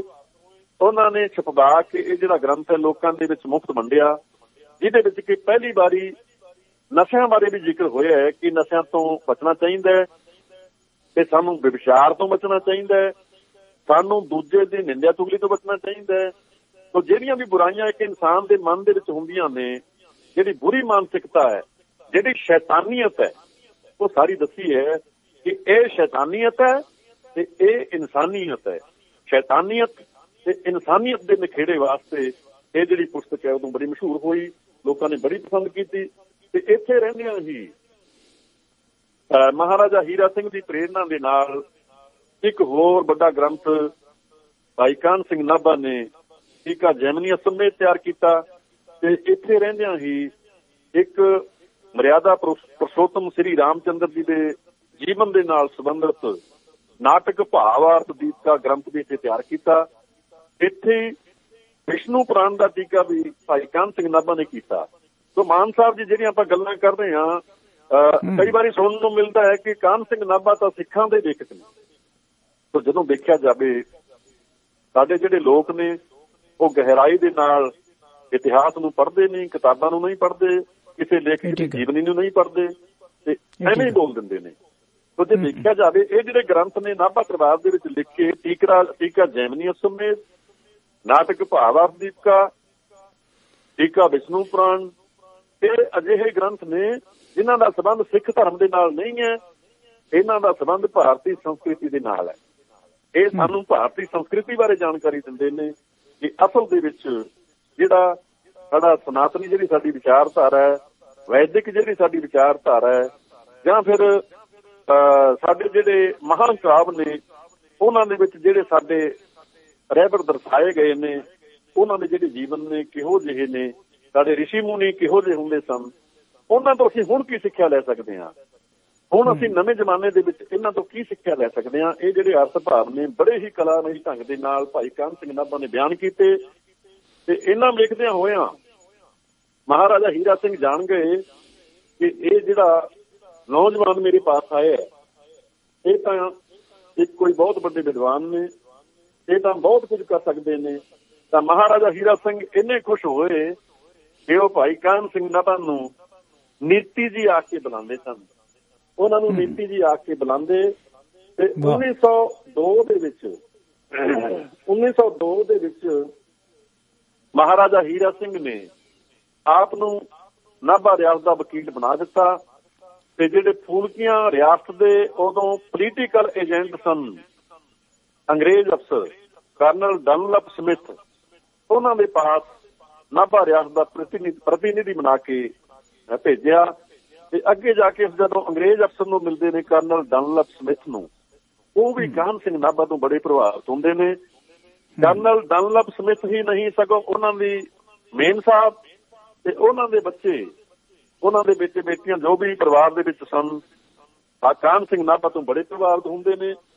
ਆ ਉੱਥੇ ਪੋਲੀਟੀਕਲ ਏਜੰਟ ਦੇ ਪਾਸ ਜਾ ਕੇ ਨਾਭਾ ਰਿਆਸਤ ਦੀ ਜਿਹੜੀਆਂ ਸਮੱਸਿਆਵਾਂ ਸਨ, ਨਾਭਾ ਰਿਆਸਤ ਦੀ ਜਿਹੜੀ ਕੋਈ ਜ਼ਮੀਨ ਅੰਗਰੇਜ਼ਾਂ ਦੇ ਕਬਜ਼ੇ ਦੇ ਵਿੱਚ ਸੀ ਉਦੋਂ ਕਿਸੇ ਕਾਰਨ ਕਰਕੇ ਜਾਂ ਹੋਰ ਕੋਈ ਸਮੱਸਿਆਵਾਂ ਸਨ, ਉਹ ਸਾਰੀਆਂ ਅੰਗਰੇਜ਼ ਜਿਹੜਾ ਵਿਦਵਾਨ ਹੈ, ਕਰਨਲ ਡਨਲਪ ਸਮਿਥ, ਉਹਦੇ ਨਾਲ ਮਿਲ ਕੇ ਭਾਈ ਕਾਨ ਸਿੰਘ ਨਾਭਾ ਨੇ ਹੱਲ ਕੀਤੀਆਂ ਤੇ ਹੌਲੀ ਹੌਲੀ ਕਰਨਲ ਡਨਲਪ ਸਮਿਥ ਦੇ ਉੱਪਰ ਇੰਨਾ ਪ੍ਰਭਾਵ ਪਿਆ, ਇੰਨਾ ਪ੍ਰਭਾਵ ਪਿਆ ਕਿ 1905 ਦੇ ਵਿੱਚ ਕਰਨਲ ਡਨਲਪ ਸਮਿਥ ਨੇ ਮਹਾਰਾਜਾ ਹੀਰਾ ਸਿੰਘ ਨਾਭਾ ਪਤੀ ਨੂੰ ਇੱਕ ਚਿੱਠੀ ਲਿਖੀ, ਜਿਹਦੇ ਵਿੱਚ ਉਹਨੇ ਦੱਸਿਆ ਕਿ ਮੈਂ ਇਸ ਅਹੁਦੇ ਤੇ ਰਹਿੰਦਿਆਂ ਹੋਇਆਂ ਪੋਲੀਟੀਕਲ ਏਜੰਟ ਦੇ ਅਹੁਦੇ ਤੇ ਰਹਿੰਦਿਆਂ ਹੋਇਆਂ ਫੂਲਕੀਆਂ ਰਿਆਸਤਾਂ ਜੀਂਦ ਪਟਿਆਲਾ ਤੇ ਹੋਰ ਵੀ ਕਈ ਜਿਹੜੀਆਂ ਰਿਆਸਤਾਂ ਨੇ, ਉਹਨਾਂ ਦੇ ਬੰਦਿਆਂ ਨੂੰ ਵੀ ਮਿਲਿਆ। ਪਰੰਤੂ ਫੂਲਕੀਆਂ ਰਿਆਸਤਾਂ ਦੇ ਕੰਮ ਕਰਦੇ ਹੋਏ, ਮੈਂ ਅੱਜ ਤੱਕ ਭਾਈ ਕਾਨ ਸਿੰਘ ਨਾਗਾ ਕਾਨ ਸਿੰਘ ਨਾਭਾ ਵਰਗਾ ਕੋਈ ਅਫਸਰ ਨਹੀਂ ਵੇਖਿਆ। ਕਿਉਂਕਿ ਕਾਨ ਸਿੰਘ ਨਾਭਾ ਦਾ ਜਿਹੜਾ ਉਹ ਅਹੁਦਾ ਸੀ, ਉਦੋਂ ਅਫਸਰ ਦਾ ਅਹੁਦਾ ਸੀ। ਨਾਭਾ ਰਿਆਸਤ ਦੇ ਵਿੱਚ ਕਾਨ ਸਿੰਘ ਨਾਭਾ ਨੇ ਸਿਟੀ ਮੈਜਿਸਟ੍ਰੇਟ ਦੇ ਤੌਰ ਤੇ ਵੀ ਕੰਮ ਕੀਤਾ ਹੈ ਨਾਇਬ ਨਾਜ਼ਮ ਦੇ ਤੌਰ ਤੇ ਵੀ ਕੰਮ ਕੀਤਾ ਹੈ, ਡਿਪਟੀ ਕਮਿਸ਼ਨਰ ਦੇ ਤੌਰ ਤੇ ਵੀ ਕੰਮ ਕੀਤਾ ਹੈ। ਤੋਂ ਇਹ ਸਾਰੇ ਜਿਹੜੇ ਅਹੁਦੇ ਸਨ, ਇਹਨਾਂ ਤੋਂ ਬਾਅਦ ਹੀ ਕਾਨ ਸਿੰਘ ਨਾਭਾ ਨੂੰ 1902 ਦੇ ਵਿੱਚ ਵਕੀਲ ਬਣਾ ਕੇ ਪੋਲੀਟੀਕਲ ਏਜੰਟ ਦੇ ਪਾਸ ਭੇਜਿਆ ਗਿਆ ਸੀ। ਤੋਂ ਡਨਲਪ ਸਮਿਥ ਨੇ ਪ੍ਰਭਾਵਿਤ ਹੁੰਦੇ ਨੇ ਕਿ ਮੈਂ ਇੰਨੇ ਲੋਕਾਂ ਨੂੰ ਮਿਲਿਆ, ਮਹਾਰਾਜਾ ਹੀਰਾ ਸਿੰਘ ਨੂੰ ਦੱਸਦੇ ਨੇ ਕਿ ਮਹਾਰਾਜਾ, ਮੈਂ ਇੰਨੇ ਲੋਕਾਂ ਨੂੰ ਮਿਲਿਆ, ਪਰੰਤੂ ਮੇਰੀ ਨਿਗਾਹ ਵਿੱਚ ਸਰਦਾਰ ਕਾਨ ਸਿੰਘ ਦੀ ਬਹੁਤ ਇੱਜ਼ਤ ਹੈ। ਮੈਨੂੰ ਫੂਲਕੀਆਂ ਰਿਆਸਤਾਂ ਦੇ ਵਿੱਚ ਕੋਈ ਅਜਿਹਾ ਅਫਸਰ ਨਹੀਂ ਮਿਲਿਆ ਜੋ ਆਪਣੇ ਮਹਾਰਾਜਾ ਤੇ ਆਪਣੀ ਰਿਆਸਤ ਦੇ ਕੰਮ ਨੂੰ ਇੰਨੀ ਇਮਾਨਦਾਰੀ ਨਾਲ ਕਰਦਾ ਹੋਵੇ। ਡਾਕਟਰ ਡਾਕਟਰ ਭਾਟਵਾ ਜੀ ਮੈਂ ਇੱਕ ਛੋਟੀ ਜੀ ਇੰਟਰਪਸ਼ਨ ਦੇਣ ਵਾਸਤੇ ਗੁਸਤਾਖੀ ਮੁਆਫ। ਉਹ ਤੁਸੀਂ ਵਿਦਵਤਾ ਦੀ ਗੱਲ ਕੀਤੀ ਸੀਗੀ ਜਿਹੜੇ ਮਿਸਟਰ ਮਕਾਲਫ ਨੇ ਜਿਨ੍ਹਾਂ ਨੇ ਸਿੱਖ ਧਰਮ ਬਾਰੇ ਬਹੁਤ ਕੁਝ ਲਿਖਿਆ ਔਰ ਵੈਸਟ ਦੇ ਬਹੁਤ ਵੱਡੇ ਸਕਾਲਰ ਨੇ। ਉਹ ਵੀ ਕਹਿੰਦੇ ਨੇ ਵੀ ਭਾਈ ਕਾਨ ਸਿੰਘ ਨਾਭਾ ਮੇਰੇ ਗਾਈਡ ਨੇ ਤੇ ਮੈਂ ਮੈਂ ਉਹਨਾਂ ਤੋਂ, ਉਹਨਾਂ ਦੇ ਕੋਲੋਂ ਮੈਂ ਫਿਲਾਸਫੀ ਸਿੱਖੀ ਹੈ। ਇਹ ਮੁਕਾਲਫ ਕਹਿ ਰਿਹਾ ਹੈ। ਦੁਨੀਆ ਦਾ ਐਡਾ ਵੱਡਾ ਸਕਾਲਰ ਜੀ। ਹਾਂਜੀ, ਹਾਂ। ਮਾਨ ਸਾਹਿਬ ਜੀ, ਇਹ ਵੀ ਗੱਲ ਨਾਲ ਹੀ ਜੁੜਦੀ ਹੈ ਕਿਉਂਕਿ ਅੰਗਰੇਜ਼ ਨੇ ਜਿਹੜੇ, ਜਿਹੜਾ ਵੱਡੇ ਤੋਂ ਵੱਡਾ ਉਹਦਾ ਉਸ ਮੌਕੇ ਹਿੰਦੁਸਤਾਨ ਦੇ ਵਿੱਚ ਵਾਇਸ ਰਾਏ ਸਨ। ਵਾਇਸ ਰਾਏ ਦੇ ਉਹਦੇ ਤੱਕ ਵਾਲੇ ਵੀ ਜਿਹੜੇ ਅੰਗਰੇਜ਼ ਉਸ ਮੌਕੇ ਅਫਸਰ ਸਨ। ਉਹ ਵੀ ਕਾਨ ਸਿੰਘ ਨਾਭਾ ਤੋਂ ਪ੍ਰਭਾਵਿਤ ਸਨ ਇੱਕ ਵੱਖਰਾ ਵਿਵਹਾਰ ਰੱਖਦੇ ਸਨ। ਉਹ ਜਿੱਥੋਂ ਤੱਕ ਮੈਕਾਲਫ ਦੀ ਗੱਲ ਹੈ ਮੈਕਾਲਫ ਦੀ ਵੀ ਜਿਹੜੀ ਪੁਸਤਕ ਮਿਸਟਰ ਐਮ ਏ ਮਕਾਲਫ ਨੇ ਜਿਹੜੀ ਪੁਸਤਕ ਲਿਖੀ ਹੈ ਸਿੱਖ ਰਿਲੀਜਨ ਉਹਦੀ ਤਿਆਰੀ ਵਾਸਤੇ ਵੀ ਮੈਕਾਲਫ ਨੂੰ ਸਿੱਖ ਧਰਮ ਦੀ ਸਿੱਖਿਆ ਦੇਣ ਵਾਸਤੇ ਮੈਕਾਲਫ ਨੂੰ ਸਿੱਖ ਧਰਮ ਦੇ ਸਿਧਾਂਤਾਂ ਦੀ ਜਾਣਕਾਰੀ ਦੇਣ ਵਾਸਤੇ ਭਾਈ ਕਰਨ ਸਿੰਘ ਨਾਭਾ ਦਾ ਹੀ ਇੱਕ ਵੱਡਾ ਯੋਗਦਾਨ ਹੈ ਕਿਉਂਕਿ ਮੈਕਾਲਫ ਨੇ ਮਹਾਰਾਜਾ ਹੀਰਾ ਸਿੰਘ ਦੀ ਆਗਿਆ ਲੈ ਕੇ ਕਾਨ ਸਿੰਘ ਦੇ ਪਾਸੋਂ ਹੀ ਸਿੱਖ ਧਰਮ ਦੀ ਸਿੱਖਿਆ ਲਈ ਤੇ ਇਹ ਜਿਹੜੀ ਇਹ ਪੁਸਤਕ ਹੈ, ਤਿਆਰ ਹੋਈ ਸਿੱਖ ਰਿਲੀਜਨ, ਜਿਹੜੀ ਕਿ ਆਕਸਫੋਰਡ ਯੂਨੀਵਰਸਿਟੀ ਪ੍ਰੈਸ ਦੇ ਵੱਲੋਂ ਉਸ ਮੌਕੇ ਛਾਪੀ ਗਈ 6 ਜ਼ਿਲ੍ਹਿਆਂ ਦੇ ਵਿੱਚ ਛਪੀ ਗਈ, ਛਾਪੀ ਤੇ ਅੱਜ ਤੱਕ ਜਿਹੜੀ ਇਹ ਪੁਸਤਕ ਹੈ, ਸਿੱਖ ਧਰਮ ਦੀ ਜਾਣਕਾਰੀ ਵਾਸਤੇ ਬੜੀ ਹੀ ਪ੍ਰਮਾਣਿਕ ਮੰਨੀ ਜਾਂਦੀ ਹੈ, ਜਿਹੜੀ ਕਿ ਕਿਸੇ ਅੰਗਰੇਜ਼ ਵਿਦਵਾਨ ਵੱਲੋਂ ਲਿਖੀ ਗਈ ਹੈ।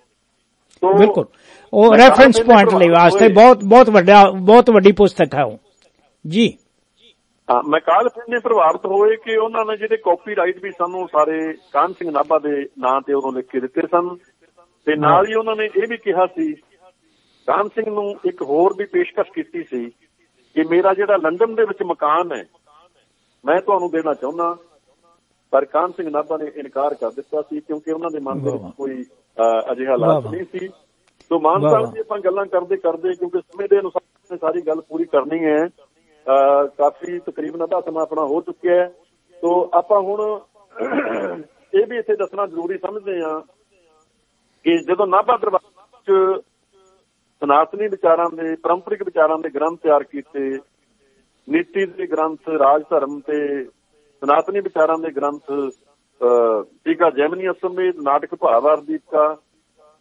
ਤੇ ਟੀਕਾ ਵਿਸ਼ਨੂੰ ਪੁਰਾਣ। ਇਸ ਤੋਂ ਬਾਅਦ ਭਾਈ ਕਾਨ ਸਿੰਘ ਨਾਭਾ ਦਾ ਜਿਹੜਾ ਧਿਆਨ ਹੈ, ਉਹ ਗੁਰਮਤ ਦੇ ਪ੍ਰਚਾਰ ਦੇ ਵੱਲ, ਗੁਰਮਤ ਦੀ ਵਿਆਖਿਆ ਦੇ ਵੱਲ ਹੁੰਦਾ ਹੈ। ਕਿਉਂਕਿ ਰਾਜਕੁਮਾਰ ਜਿਹੜੇ ਰਿਪਦਮਨ ਸਿੰਘ ਹੁੰਦੇ ਨੇ, ਉਹਨਾਂ ਦੀ ਵੀ ਜ਼ਿਆਦਾ ਇੱਛਾ ਇਹੋ ਹੀ ਹੁੰਦੀ ਹੈ ਕਿ ਸਿੱਖ ਧਰਮ ਦਾ ਪ੍ਰਚਾਰ ਦੁਨੀਆ ਦੇ ਵਿੱਚ ਹੋਵੇ। ਸਿੱਖ ਧਰਮ ਦਾ ਜਿਹੜਾ ਪ੍ਰਚਾਰ ਹੈ, ਉਹ ਚੰਗੇ ਢੰਗ ਦੇ ਨਾਲ ਹੋਵੇ ਸਾਇੰਟੀਫਿਕ ਢੰਗ ਦੇ ਨਾਲ ਹੋਵੇ। ਜਿਹੜੇ ਵਹਿਮ ਭਰਮ ਨੇ, ਉਹਨਾਂ ਤੋਂ ਸਾਨੂੰ ਮੁਕਤੀ ਮਿਲਣੀ ਚਾਹੀਦੀ ਹੈ। ਤਾਂ ਭਾਈ ਕਾਨ ਸਿੰਘ ਨਾਭਾ ਨੇ ਇੱਥੇ ਹੀ, ਇਸੇ ਮੌਕੇ ਹੀ ਨਾਭਾ ਦਰਬਾਰ ਦੇ ਵਿੱਚ ਸੇਵਾ ਕਰਦਿਆਂ ਹੋਇਆਂ ਗੁਰਮਤ ਪ੍ਰਭਾਕਰ, ਗੁਰਮਤ ਸੁਧਾਕਰ, ਗੁਰਗਿਰਾ ਕਸੌਟੀ ਸਦਕਾ ਪ੍ਰਮਾਰਥ ਤੇ ਹਮ ਹਿੰਦੂ ਨਹੀਂ ਵਰਗੀਆਂ ਲਾਸਾਨੀ ਪੁਸਤਕਾਂ ਲਿਖੀਆਂ, ਜਿਨ੍ਹਾਂ ਦੀ ਪ੍ਰਮਾਣ ਪ੍ਰਮਾਣਿਕਤਾ ਅੱਜ ਵੀ ਹੈ ਤੇ ਆਉਣ ਵਾਲੇ ਸਮੇਂ ਦੇ ਵਿੱਚ ਵੀ ਰਹੇਗੀ। ਇਹਨਾਂ ਪੁਸਤਕਾਂ ਦੇ। ਨਾਲ ਭਾਈ ਕਾਨ ਸਿੰਘ ਨਾਭਾ ਭਾਈ ਗੁਰਦਾਸ ਜੀ ਤੋਂ ਬਾਅਦ ਗੁਰਮਤ ਦੇ ਇੱਕ ਮਹਾਨ ਵਿਆਖਿਆਕਾਰ ਮੰਨੇ ਜਾਣ ਲੱਗ ਪਏ। ਇਹਨਾਂ ਤੋਂ ਵੱਡਾ ਵਿਦਵਾਨ ਅੱਜ ਤੱਕ ਵੀ ਗੁਰਮਤ ਦੀ ਵਿਆਖਿਆ ਦੇ ਮੁਕਾਬਲੇ ਦੇ ਵਿੱਚ ਸਾਨੂੰ ਕੋਈ ਨਜ਼ਰ ਨਹੀਂ ਆਉਂਦਾ। ਤੇ ਦੂਜੀ ਜਿਹੜੀ ਵੱਡੀ ਗੱਲ ਹੈ ਉਹ ਇਹ ਹੈ ਕਿ ਭਾਈ ਕਾਨ ਸਿੰਘ ਨਾਭਾ ਨੇ ਆਲੋਚਨਾ ਦਾ ਵੀ ਕੰਮ ਹੈ ਜਿਹੜਾ ਉਹ ਆਰੰਭ ਕੀਤਾ। ਭਾਈ ਕਾਨ ਸਿੰਘ ਨਾਭਾ ਨੇ ਤਰਕ ਦਲੀਲ ਤੇ ਵਿਗਿਆਨਿਕਤਾ ਨੂੰ ਸਾਹਮਣੇ ਰੱਖ ਕੇ ਆਪਣੇ ਸਾਹਿਤ ਦੀ ਆਪਣੇ ਸਿੱਖ ਧਰਮ ਦੇ ਗ੍ਰੰਥਾਂ ਦੀ ਵੀ ਪਰਖ ਪੜਚੋਲ ਕੀਤੀ। ਜਿਹੜੀ ਕੋਈ ਗੱਲ ਤਰਕ ਦੀ ਕਸੌਟੀ ਤੇ ਪੂਰੀ ਨਹੀਂ ਉਤਰਦੀ ਸੀ ਜਾਂ ਵਿਗਿਆਨਿਕ ਨਹੀਂ ਲੱਗਦੀ ਸੀ ਉਸ ਨੂੰ ਭਾਈ ਕਾਨ ਸਿੰਘ ਨਾਭਾ ਨੇ ਨਹੀਂ ਮੰਨਿਆ। ਤੇ ਪਹਿਲੀ ਵਾਰੀ ਭਾਈ ਕਾਨ ਸਿੰਘ ਨਾਭਾ ਨੇ ਗੁਰਬਾਣੀ ਨੂੰ ਸਾਹਿਤ ਦੇ ਨਾਲ ਵੀ ਜੋੜਿਆ।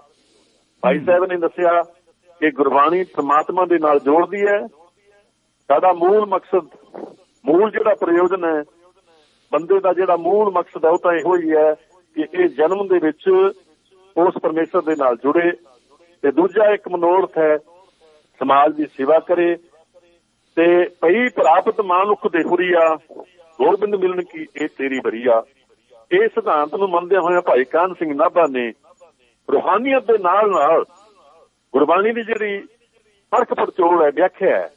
ਉਹ ਕਲਾਤਮਿਕ ਪੱਖ ਤੋਂ ਵੀ ਕੀਤੀ। ਭਾਈ ਕਾਨ ਸਿੰਘ ਨਾਭਾ ਨੇ ਗੁਰਬਾਣੀ ਦੇ ਜਿਹੜੇ 31 ਰਾਗ ਜਾਂ ਹੋਰ ਉਹਦੇ ਵਿੱਚ ਉਪ ਰਾਗ ਨੇ, ਉਹਨਾਂ ਬਾਰੇ ਵੀ ਦੱਸਿਆ ਕਿ ਇਹ ਵੀ ਸਾਡੇ ਪਾਸ ਇੱਕ ਬਹੁਤ ਵੱਡਾ ਖਜ਼ਾਨਾ ਹੈ। ਸਾਰੇ ਜਿਹੜੇ ਰਾਗ ਹਨ, ਉਹਨਾਂ ਦੇ ਸਰੂਪ ਦੱਸੇ। ਗੁਰਬਾਣੀ ਦੀਆਂ ਜਿਹੜੀਆਂ ਵਿਆਖਿਆ ਸ਼ੈਲੀਆਂ ਨੇ, ਉਹਨਾਂ ਬਾਰੇ ਜਾਣਕਾਰੀ ਦਿੱਤੀ। ਗੁਰਬਾਣੀ ਦੇ ਵਿੱਚ ਜਿਹੜੇ ਛੋਟੇ ਛੋਟੇ ਸਰਲੇਖ ਆਉਂਦੇ ਨੇ ਛੋਟੇ ਛੋਟੇ ਜਿਹੜੇ ਸਰਲੇਖ ਨੇ, ਜਿਨ੍ਹਾਂ ਦਾ ਸੰਗੀਤ ਦੇ ਨਾਲ ਸੰਬੰਧ ਹੈ ਉਹਨਾਂ ਬਾਰੇ ਵੀ ਦੱਸਿਆ ਕਿ ਇਹਦਾ ਮਤਲਬ ਕੀ ਹੈ, ਇਹਦਾ ਮਤਲਬ ਕੀ ਹੈ। ਤੇ ਨਾਲ ਹੀ ਸਾਹਿਤਿਕ ਪੱਖ ਤੋਂ ਗੁਰਬਾਣੀ ਦੀ ਪਰਖ ਪਰਚੋਲ ਕਰਕੇ ਇਹ ਵੀ ਦੱਸਿਆ ਕਿ ਸਾਡੇ ਗੁਰੂਆਂ ਨੇ ਕਿਹੜੇ ਕਿਹੜੇ ਛੰਦ ਵਰਤੇ ਨੇ। ਛੰਦ ਕੀ ਹੁੰਦਾ ਹੈ? ਛੰਦ ਬਾਰੇ ਅਲੱਗ ਪੁਸਤਕ ਲਿਖੀ ਗੁਰੂ ਛੰਦ ਦਿਵਾਕਰ ਨਾਲ ਹੀ ਭਾਈ ਕਾਨ ਸਿੰਘ ਨਾਭਾ ਨੇ ਆਪਣੇ ਸ਼ਰਧਾਲੂਆਂ ਨੂੰ, ਨਵੇਂ ਪਾਠਕਾਂ ਨੂੰ ਇਹ ਵੀ ਜਾਣਕਾਰੀ ਦਿੱਤੀ ਕਿ ਕਵਿਤਾ ਦੇ ਵਿੱਚ, ਕਾਵ ਦੇ ਵਿੱਚ ਜਿਵੇਂ ਰਾਗ ਹੁੰਦਾ ਹੈ, ਛੰਦ ਹੁੰਦਾ ਹੈ, ਇਸੇ ਤਰ੍ਹਾਂ ਅਲੰਕਾਰ ਵੀ ਹੁੰਦੇ ਨੇ। ਜਿਵੇਂ ਕੋਈ ਔਰਤ ਹੈ ਜਿਹੜੀ, ਉਹ ਜਦੋਂ ਆਪਣਾ ਸ਼ਿੰਗਾਰ ਕਰਦੀ ਹੈ, ਗਹਿਣੇ ਪਹਿਨਦੀ ਹੈ, ਸੁਰਖੀ ਬਿੰਦੀ ਲਾਉਂਦੀ ਹੈ, ਤਾਂ ਹੋਰ ਕਈ ਪ੍ਰਕਾਰ ਦੇ ਕੱਪੜੇ ਪਹਿਨ ਕੇ ਆਪਣਾ ਪੂਰਾ ਸ਼ਿੰਗਾਰ ਲਾ ਕੇ ਫਿਰ ਉਹ ਖੂਬਸੂਰਤ ਨਜ਼ਰ ਆਉਂਦੀ ਹੈ। ਇਸੇ ਤਰ੍ਹਾਂ ਕਵਿਤਾ ਦੇ ਵਿੱਚ ਵੀ ਕਈ ਚੀਜ਼ਾਂ ਹੁੰਦੀਆਂ ਨੇ, ਉਹਦੇ ਵਿੱਚ ਕੋਈ ਭਾਵ ਹੁੰਦੇ ਨੇ, ਉਹਦੇ ਵਿੱਚ ਵੀ ਛੰਦ ਹੁੰਦੇ ਨੇ ਤੇ ਉਹਦੇ ਵਿੱਚ ਵੀ ਕਵਿਤਾ ਦੇ ਵਿੱਚ ਵੀ ਅਲੰਕਾਰ ਨੇ ਜਿਹੜੇ ਉਹ ਗਹਿਣੇ ਦੀ ਤਰ੍ਹਾਂ ਮੰਨੇ ਜਾਂਦੇ ਨੇ। ਸੋ ਗੁਰਬਾਣੀ ਵੀ ਕਾਵ ਦੇ ਰੂਪ ਦੇ ਵਿੱਚ ਸਾਡੇ ਪਾਸ ਹੈ। ਗੁਰਬਾਣੀ ਰੂਪੀ ਜਿਹੜਾ ਕਾਵ ਹੈ ਇਹਦੇ ਵਿੱਚ ਅਲੰਕਾਰ ਜਿਹੜਾ ਗਹਿਣਾ ਹੈ ਅਲੰਕਾਰ ਜਿਹੜੇ ਨੇ ਵਰਤੇ ਹੋਏ ਨੇ ਉਹ ਕਿਵੇਂ ਵਰਤੇ? ਸੋ ਅਲੰਕਾਰਾਂ ਦੀ ਵੀ ਭਾਈ ਕਾਨ ਸਿੰਘ ਨਾਭਾ ਨੇ ਪਰਖ ਪਰਚੋਲ ਕਰਕੇ ਇੱਕ ਬੜੀ ਲਾਸਾਨੀ ਪੁਸਤਕ ਲਿਖੀ ਗੁਰ ਸ਼ਬਦਾ ਅਲੰਕਾਰ।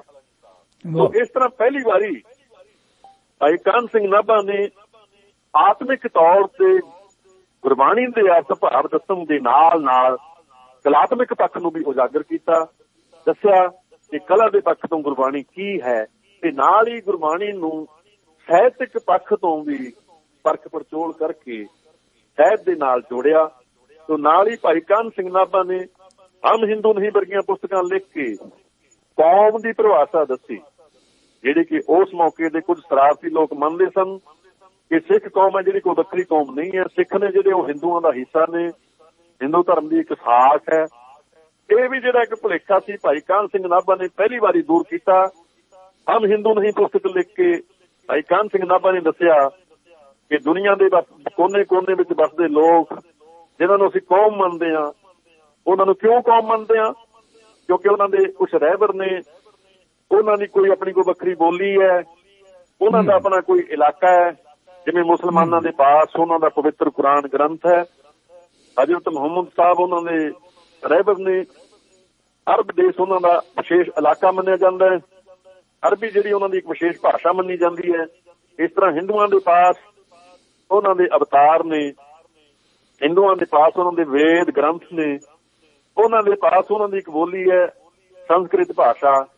ਇਸੇ ਤਰ੍ਹਾਂ ਸਿੱਖਾਂ ਦੇ ਪਾਸ ਵੀ ਇੱਕ ਪੰਜਾਬ ਦਾ ਇਲਾਕਾ ਹੈ। ਸਿੱਖਾਂ ਦੇ ਪਾਸ ਵੀ ਪੰਜਾਬ ਦੇ ਇਲਾਕੇ ਦੇ ਵਿੱਚ ਆਪਣਾ ਇੱਕ ਗ੍ਰੰਥ ਹੈ, ਗੁਰੂ ਗ੍ਰੰਥ ਸਾਹਿਬ। ਸਿੱਖਾਂ ਦੇ ਪਾਸ ਵੀ ਹੋਰਨਾਂ ਧਰਮਾਂ ਦੇ ਰਹਿਬਰਾਂ ਦੇ ਵਾਂਗ ਸਾਡੇ ਰਹਿਬਰ ਨੇ ਦਸ ਗੁਰੂ ਸਹਿਬਾਨ ਤੇ ਜੀਵਤ ਜਾਗਤ ਸਾਡੇ ਹੁਣ ਵੀ ਗੁਰੂ ਨੇ, ਸਾਹਿਬ ਸ੍ਰੀ ਗੁਰੂ ਗ੍ਰੰਥ ਸਾਹਿਬ ਜੀ। ਇਸ ਆਧਾਰ ਤੇ ਅਸੀਂ ਇੱਕ ਵੱਖਰੀ ਕੌਮ ਆ। ਅਸੀਂ ਕਿਸੇ ਧਰਮ ਦੀ ਸਾਖ ਨਹੀਂ, ਅਸੀਂ ਇੱਕ ਆਪਣੀ ਵੱਖਰੀ ਕੌਮ ਆ ਤੇ ਅਸੀਂ ਕਿਸੇ ਕੌਮ ਨੂੰ ਮਾਰਾ ਨਹੀਂ ਮੰਨਦੇ। ਜੋ ਕਿ ਸਾਡੇ ਗੁਰੂਆਂ ਨੇ ਸਾਨੂੰ ਸਿਖਾਇਆ ਸਿਖਾਇਆ ਹੈ ਇੱਕ ਪਿਤਾ ਇੱਕ ਸਕੇ ਹਮ ਮਾਰਕ ਸਾਡੇ ਗੁਰੂਆਂ ਨੇ ਸਾਨੂੰ ਸਿਖਾਇਆ ਹੈ ਕਿ ਦੁਨੀਆ ਦੇ ਵਿੱਚ ਕੋਈ ਵੀ ਬੰਦਾ ਕਿਤੇ ਵੀ ਵਸਦਾ ਹੋਵੇ, ਕਿਸੇ ਵੀ ਕੌਮ ਦਾ ਹੋਵੇ, ਕਿਸੇ ਵੀ ਰੰਗ ਨਸਲ ਦਾ ਹੋਵੇ ਉਸ ਦੀ ਜਾ ਕੇ ਸੇਵਾ ਕਰਨੀ ਹੈ। ਅਸੀਂ ਸਦਾਇਬ ਸਾਰੇ ਜਿਹੜੇ ਦੁਨੀਆ ਦੇ ਇਨਸਾਨ ਨੇ, ਉਹਨਾਂ ਨੂੰ ਆਪਣੇ ਭਾਈ ਮੰਨਦੇ ਆ ਇੱਕ ਪਿਤਾ ਇੱਕ ਸਕੇ ਹਮ ਬਾਰਕ ਅਬਲ ਅੱਲਾ ਨੂਰ ਪਾਇਆ, ਕੁਦਰਤ ਕੇ ਸਭ ਬੰਦੇ ਏਕ ਨੂਰ ਤੇ ਸਭ ਜਗ ਉਪਜਿਆ, ਕੌਣ ਭਲੇ, ਉਹ ਮੰਦੇ। ਉਹ ਭਾਈ ਕਾਨ ਸਿੰਘ ਨਾਭਾ ਇਸ ਸਿਧਾਂਤ ਨੂੰ ਲੈ ਕੇ ਚੱਲੇ ਤੇ ਨਾਲ ਇਹ ਦੱਸਿਆ ਕਿ ਇਸ਼ਟ ਕਰਕੇ, ਮਜਬ ਕਰਕੇ ਸਿੱਖ ਨੇ ਜਿਹੜੇ ਕੋਈ ਕਿਸੇ ਵੱਖਰੀ ਕੌਮ ਦੀ ਸਾਖ ਨਹੀਂ, ਉਹ ਇੱਕ ਵੱਖਰੀ ਕੌਮ ਹੈ, ਜਿਹੜੀ ਕਿ ਸ੍ਰੀ ਗੁਰੂ ਨਾਨਕ ਦੇਵ ਜੀ ਨੇ ਉਸ ਦੀ ਉਸਾਰੀ ਕੀਤੀ ਹੈ। ਦਸ ਗੁਰੂ ਸਹਿਬਾਨਾਂ ਨੇ ਉਸ ਦੇ ਸਿਧਾਂਤ ਸਿਧਾਂਤ ਜਿਹੜੇ ਥਾਪੇ ਨੇ ਦਸਾਂ ਗੁਰੂਆਂ ਤੱਕ। ਇਸ ਧਰਮ ਦੀ ਜਿਹੜੀ ਵਿਲੱਖਣਤਾ ਹੈ ਇਸ ਧਰਮ ਦੀ ਜਿਹੜੀ ਨਿਰੰਤਰਤਾ ਇੰਨੇ ਸਾਲਾਂ ਤੱਕ ਚੱਲਦੀ ਰਹੀ ਉਹ ਸਾਰੀ ਸਾਨੂੰ ਸਾਹਿਬ ਸ੍ਰੀ ਗੁਰੂ ਗ੍ਰੰਥ ਸਾਹਿਬ ਜੀ ਦੇ ਵਿੱਚ ਅੱਜ ਵੀ ਸਾਡੇ ਪਾਸ ਸਾਖਸ਼ਾਤ ਮੌਜੂਦ ਹੈ। ਤੋ ਇਸ ਤਰ੍ਹਾਂ ਇਹ ਜਿਹੜੀਆਂ ਵੱਡੀਆਂ ਗੱਲਾਂ ਸਾਹਿਤਿਕ ਤੌਰ ਤੇ ਰਾਜਨੀਤਿਕ ਤੌਰ ਤੇ ਭਾਈ ਕਾਨ ਸਿੰਘ ਨਾਭਾ ਦਾ ਕਿੰਨਾ ਵੱਡਾ ਯੋਗਦਾਨ ਹੈ ਇਹ ਕਿਉਂਕਿ ਆਪਾਂ ਪ੍ਰੋਗਰਾਮ ਦੇ ਮੁਤਾਬਕ ਮੇਰਾ ਦਿਲ ਕਰਦਾ ਮੈਂ ਕੁਝ ਹੋਰ ਵੀ ਗੱਲਾਂ ਉਹਨਾਂ ਬਾਰੇ ਦੱਸਾਂ। ਮਹਾਨ ਗ੍ਰੰਥ ਜਿਹੜਾ ਹੈਗਾ ਉਹਨਾਂ ਦਾ ਐਨਸਾਈਕਲੋਪੀਡੀਆ ਆਫ ਸਿੱਖ ਲਿਟਰੇਚਰ ਉਹਦੇ ਬਾਰੇ ਥੋੜਾ ਜਿਹਾ ਜ਼ਿਕਰ ਜਿਹੜਾ ਹੈਗਾ ਜੇ ਥੋੜੀ ਜੀ ਡਿਟੇਲ ਵਿੱਚ ਦੱਸ ਸਕੋ। ਤੇ ਕਿਉਂਕਿ ਆਪਣੇ ਕੋਲੇ ਸਮਾਂ ਜਿਹੜਾ ਹੈਗਾ, ਉਹ ਆਪਣੇ ਕੋਲ ਦੀ ਤਕਰੀਬਨ ਤਕਰੀਬਨ ਸਿਰਫ 12 ਮਿੰਟ ਬਾਕੀ ਨੇ। ਜੀ। ਮਾਨ ਸਾਹਿਬ ਜੀ ਆਪ ਕੁਛ ਉਹਨਾਂ ਦੀ ਕਵਿਤਾ ਵਿੱਚ ਆਪਣਾ ਉਹ ਸੰਗੀਤਕ ਜਿਹੜੀ ਹੈ ਆਪਣਾ ਭਾਈ ਕਾਮ ਸਿੰਘ ਨਾਭਾ ਦੀ ਪ੍ਰੋਗਰਾਮ ਦੇ ਵਿੱਚ ਸਰੋਤਿਆਂ ਨੂੰ ਸੁਣਾਉਣੀ ਚਾਹੁੰਦੇ ਸੀ। ਆਪ ਉਹ ਸੁਣਾਉਣੀ ਹੈ ਜਾਂ ਆਪਾਂ ਗੱਲਬਾਤ ਹੀ ਆਪਣਾ ਕਰੀਏ ਹੁਣ? ਆ ਮੇਰੇ ਖਿਆਲ ਉਹ ਉਹ ਜਦੋਂ ਪਰ ਬਿਲਕੁਲ ਪ੍ਰੋਗਰਾਮ ਸਮਾਪਤ ਹੋਏਗਾ ਤੇ ਮੈਂ ਮਗਰਲਾ ਜਿਹੜੇ ਡੇਢ 2 ਮਿੰਟ ਜਿਹੜੇ ਹੈਗੇ, ਉਹ ਉਹ ਲਗਾ ਦਿਆਂਗੇ ਤਾਂ ਕਿ ਉਹਨੂੰ ਸੁਣ ਸਕਣਗੇ। ਪਰ ਹੁਣ ਜਿਹੜੀ ਹੈ ਮੇਰੇ ਖਿਆਲ ਜਿਵੇਂ ਗੱਲਬਾਤ ਚੱਲ ਰਹੀ ਹੈਗੀ ਹੈ, ਇਹ ਬਹੁਤ ਯੂਜ਼ਫੁਲ ਹੈ ਔਰ ਮੈਂ ਚਾਹੁੰਦਾ ਸੀ ਵੱਧ ਤੋਂ ਵੱਧ ਸਰੋਤਿਆਂ ਤੱਕ ਪਹੁੰਚੇ। ਜੀ। ਜੀ ਜੀ, ਚਲੋ ਬਹੁਤ ਅੱਛਾ ਹੋ ਗਿਆ ਕਰ ਮੈਨੂੰ ਥੋੜਾ ਪਤਾ ਲੱਗ ਗਿਆ ਕਿਉਂਕਿ ਇਹ ਜਾਣਨਾ ਜ਼ਰੂਰੀ ਸੀ। ਕਿਉਂਕਿ ਆਪ ਇਹ ਜਿਹੜਾ ਪ੍ਰੋਗਰਾਮ ਹੈ ਪੇਸ਼ ਕਰਦੇ ਹਾਂ ਤੇ ਆਪ ਜੀ ਦੀ ਕਮਾਂਡ ਦੇ ਵਿੱਚ ਜਾਣਨਾ ਜ਼ਰੂਰੀ ਸੀ ਕਿ ਆਪਣਾ ਵੀ ਅੱਗੇ ਕੀ ਹੋਏਗਾ। ਤੋਂ ਮਾਨ ਸਾਹਿਬ ਜੀ ਜਿੱਥੋਂ ਤੱਕ ਗੁਰੂ ਸ਼ਬਦ ਰਤਨਾਕਰ ਮਹਾਨ ਕੋਸ਼ ਦੀ ਗੱਲ ਹੈ। ਜੀ। ਗੁਰੂ ਸ਼ਬਦ ਰਤਨਾਕਰ ਮਹਾਨ ਕੋਸ਼ ਇੱਕ ਪਹਿਲਾ ਅਜਿਹਾ ਗ੍ਰੰਥ ਹੈ ਇੱਕ ਅਜਿਹਾ ਗ੍ਰੰਥ ਹੈ ਜਿਹੜੇ ਗ੍ਰੰਥ ਨੂੰ ਵਿਸ਼ਵ ਕੋਸ਼ ਦੇ ਨਾਮ ਦੇ ਨਾਲ ਜਾਣਿਆ ਜਾਂਦਾ ਹੈ। ਇਨਸਾਈਕਲੋਪੀਡੀਆ ਦੇ ਨਾਮ ਦੇ ਨਾਲ ਨਾ ਜਾਣਿਆ ਜਾਂਦਾ। ਤੋਂ ਇਹ ਜਿਹੜਾ ਇਨਸਾਈਕਲੋਪੀਡੀਆ ਹੈ ਇਹ ਅੰਗਰੇਜ਼ਾਂ ਦਾ ਜਿਹੜਾ ਇਨਸਾਈਕਲੋਪੀਡੀਆ ਸਾਡੇ ਤੋਂ ਪਹਿਲਾਂ ਬਣਾਇਆ ਹੋਇਆ ਸੀ ਇਨਸਾਈਕਲੋਪੀਡੀਆ ਬ੍ਰਿਟਾਨੀਕਾ ਉਹਨੂੰ ਦੇਖ ਕੇ ਭਾਈ ਕਾਨ ਸਿੰਘ ਨਾਭਾ ਦੇ ਮਨ ਦੇ ਵਿੱਚ ਖਿਆਲ ਆਇਆ ਸੀ ਕਿ ਸਾਡੇ ਪੰਜਾਬੀਆਂ ਦੇ ਪਾਸ ਵੀ ਕੋਈ ਅਜਿਹਾ ਗ੍ਰੰਥ ਹੋਵੇ ਜਿਸ ਦੇ ਵਿੱਚ ਸਾਨੂੰ ਦੁਨੀਆ ਦਾ ਵੱਧ ਤੋਂ ਵੱਧ ਗਿਆਨ ਹੋਵੇ ਤੇ ਵੱਧ ਤੋਂ ਵੱਧ ਜਿਹੜਾ ਉਹਦਾ ਮੂਲ ਗਿਆਨ ਹੈ, ਮੂਲ ਕੇਂਦਰ ਹੈ, ਮੂਲ ਫੋਕਸ ਜਿਹੜਾ ਉਹਦੇ ਉੱਪਰ ਹੈ ਉਹ ਗੁਰਬਾਣੀ ਦੇ ਉੱਪਰ ਹੋਵੇ ਕਿਉਂਕਿ ਪੰਜਾਬ ਹੈ ਜਿਹੜਾ, ਇਹ ਗੁਰੂਆਂ ਦੇ ਨਾਮ ਤੇ ਜਿੰਦਾ ਹੈ। ਤੋਂ ਇਹ ਆਪਣੇ ਸੰਕਲਪ ਨੂੰ ਪੂਰਾ ਕਰਨ ਵਾਸਤੇ ਭਾਈ ਕਾਨ ਸਿੰਘ ਨਾਭਾ ਨੇ 15 ਸਾਲ ਦੀ ਮਿਹਨਤ ਕਰਕੇ ਗੁਰੂ ਸ਼ਬਦ ਰਤਨਾਕਰ ਗ੍ਰੰਥ ਹੈ ਜਿਹੜਾ ਉਹ ਗੁਰੂ ਸ਼ਬਦ ਰਤਨਾਕਰ ਮਹਾਨ ਕੋਸ਼ ਤਿਆਰ ਕੀਤਾ ਤੇ ਬੜੀ ਮਿਹਨਤ ਦੇ ਨਾਲ ਇਕੱਲਿਆਂ ਨੇ ਕੀਤਾ। ਅਸੀਂ ਸੋਚਦੇ ਹਾਂ ਕਿ ਇੰਨਾ ਵੱਡਾ ਕੰਮ ਹੈ ਜਿਹੜਾ ਉਹ ਵਿਅਕਤੀ ਇਕੱਲਾ ਉਹਨਾਂ ਨੇ ਕਿਵੇਂ ਕੀਤਾ ਹੋਵੇਗਾ? ਕਿਉਂਕਿ ਨਾਲ ਜਿਹੜੀਆਂ ਉਹਨਾਂ ਦੀਆਂ ਜ਼ਿੰਮੇਵਾਰੀਆਂ ਸਨ, ਉਹ ਸਾਹਿਤ ਰਚਨਾ ਇਕੱਲੀ ਉਹਨਾਂ ਦੀ ਕੋਈ ਜ਼ਿੰਮੇਵਾਰੀ ਨਹੀਂ ਸੀ, ਨਾਲ ਹੋਰ ਵੀ ਜ਼ਿੰਮੇਵਾਰੀਆਂ ਸਨ। ਜਿਵੇਂ ਕਿ ਮੈਂ ਪਹਿਲਾਂ ਦੱਸਿਆ ਕਿ ਉਹ 1902 ਦੇ ਵਿੱਚ ਪੋਲੀਟੀਕਲ ਏਜੰਸੀ ਜਿਹੜੇ ਉਹਦੇ ਪਾਸ ਗਏ, ਵਕੀਲ ਬਣ ਕੇ ਮੈਜਿਸਟ੍ਰੇਟ ਵੀ ਰਹੇ ਨੇ ਡਿਪਟੀ ਕਮਿਸ਼ਨਰ ਵੀ ਰਹੇ ਨੇ ਮਹਿਰ ਨਾਜ਼ਮ ਵੀ ਬਣੇ ਨੇ। ਤਾਂ ਉਹ ਜਿਹੜੇ ਉਹਦੇ ਸੀ, ਉਹਨਾਂ ਦੇ ਜਿਹੜੇ ਕੰਮ ਸੀ, ਉਹ ਸੰਭਾਲਦੇ ਹੋਏ ਨਾਲ ਐਨਸਾਈਕਲੋਪੀਡੀਆ ਵੀ ਤਿਆਰ ਕੀਤਾ 15 ਸਾਲ ਦੇ ਵਿੱਚ। ਜਿਹੜਾ ਕਿ ਦਰਬਾਰ ਪਟਿਆਲਾ ਨੇ 51000 ਰੁਪਇਆ ਦੇ ਕੇ ਮਹਾਰਾਜਾ ਭੁਪਿੰਦਰ ਸਿੰਘ ਜੀ ਨੇ ਦਰਬਾਰ ਪਟਿਆਲਾ ਵੱਲੋਂ ਛਪਵਾਇਆ। ਤੇ ਇਹ ਜਿਹੜਾ ਮਹਾਨ ਕੋਸ਼ ਹੈ ਐਨਸਾਈਕਲੋਪੀਡੀਆ ਆਫ ਸਿੱਖ ਲਿਟਰੇਚਰ ਉਸ ਤੋਂ ਬਾਅਦ, ਦਰਬਾਰ ਪਟਿਆਲਾ ਤੋਂ ਬਾਅਦ ਭਾਸ਼ਾ ਵਿਭਾਗ ਪੰਜਾਬ ਨੇ ਛਾਪਿਆ ਤੇ ਭਾਸ਼ਾ ਵਿਭਾਗ ਦਾ ਛਾਪਿਆ ਹੋਇਆ ਹੁਣ ਤੱਕ ਨੌਵਾਂ ਜਿਹੜਾ ਐਡੀਸ਼ਨ ਹੈ ਇਹਦਾ ਹੁਣ ਆਇਆ ਹੋਇਆ ਜਿਹਦੇ ਕੇ ਪਿੱਛੇ ਜੇ 10000 ਕਾਪੀਆਂ ਹੁਣ ਛਪੀਆਂ ਸਨ, ਉਹਦੇ ਵਿੱਚੋਂ ਵੀ 7000 ਕਾਪੀਆਂ ਨੇ ਜਿਹੜੀਆਂ ਵਿਕ ਚੁੱਕੀਆਂ ਨੇ। ਬੜੀ ਖੁਸ਼ੀ ਦੀ ਗੱਲ ਹੈ, ਆਪਾਂ ਸੋਚਦੇ ਹਾਂ ਕਿ ਲੋਕ ਨੇ ਜਿਹੜੇ ਉਹ ਲਿਟਰੇਚਰ ਨਹੀਂ ਪੜ੍ਹਦੇ ਜਾਂ ਟੁੱਟਦੇ ਜਾ ਰਹੇ ਨੇ ਇੰਟਰਨੈਟ ਦੇ ਨਾਲ ਜ਼ਿਆਦਾ ਲੋਕ ਸੰਬੰਧ ਰੱਖਦੇ ਨੇ। ਨਹੀਂ, ਮਹਾਨ ਕੋਸ਼ ਅੱਜ ਵੀ ਜਿਹੜਾ ਹੈ ਉਸੇ ਤਰ੍ਹਾਂ ਲੋਕਾਂ ਦੇ ਵਿੱਚ ਬੜਾ ਪਪੂਲਰ ਹੈ, ਦਿਖਦਾ ਜਾ ਰਿਹਾ ਹੈ।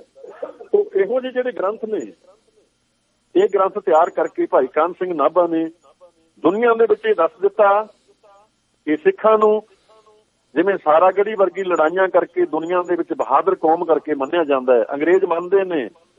ਸਾਰਾਗੜੀ ਦੀ ਲੜਾਈ ਦੇ ਵਿੱਚ ਥੋੜੇ ਜਿਹੇ ਸਿੱਖਾਂ ਨੇ ਬਹੁਤ ਸਾਰੇ ਪਠਾਣਾ ਨੂੰ ਬਹੁਤ ਲੰਮਾ ਸਮਾਂ ਰੋਕ ਕੇ ਰੱਖਿਆ।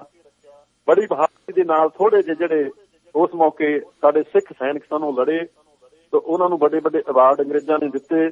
ਅੱਜ ਵੀ ਉਹਨਾਂ ਨੂੰ ਸਿਜਦਾ ਕਰਦੇ ਨੇ, ਉਹਨਾਂ ਦੀ ਯਾਦ ਮਨਾਉਂਦੇ ਨੇ। ਬਹਾਦਰ ਕੌਮ ਕਰਕੇ ਸਿੱਖ ਕੌਮ ਨੂੰ ਅੰਗਰੇਜ਼ ਸੀਸ ਝੁਕਾਉਂਦੇ ਨੇ। ਤੋ ਜਿੱਥੇ ਬਹਾਦਰੀ ਕਰਕੇ ਪੰਜਾਬੀਆਂ ਦਾ ਨਾਮ ਦੁਨੀਆ ਦੇ ਵਿੱਚ ਰੌਸ਼ਨ ਹੈ।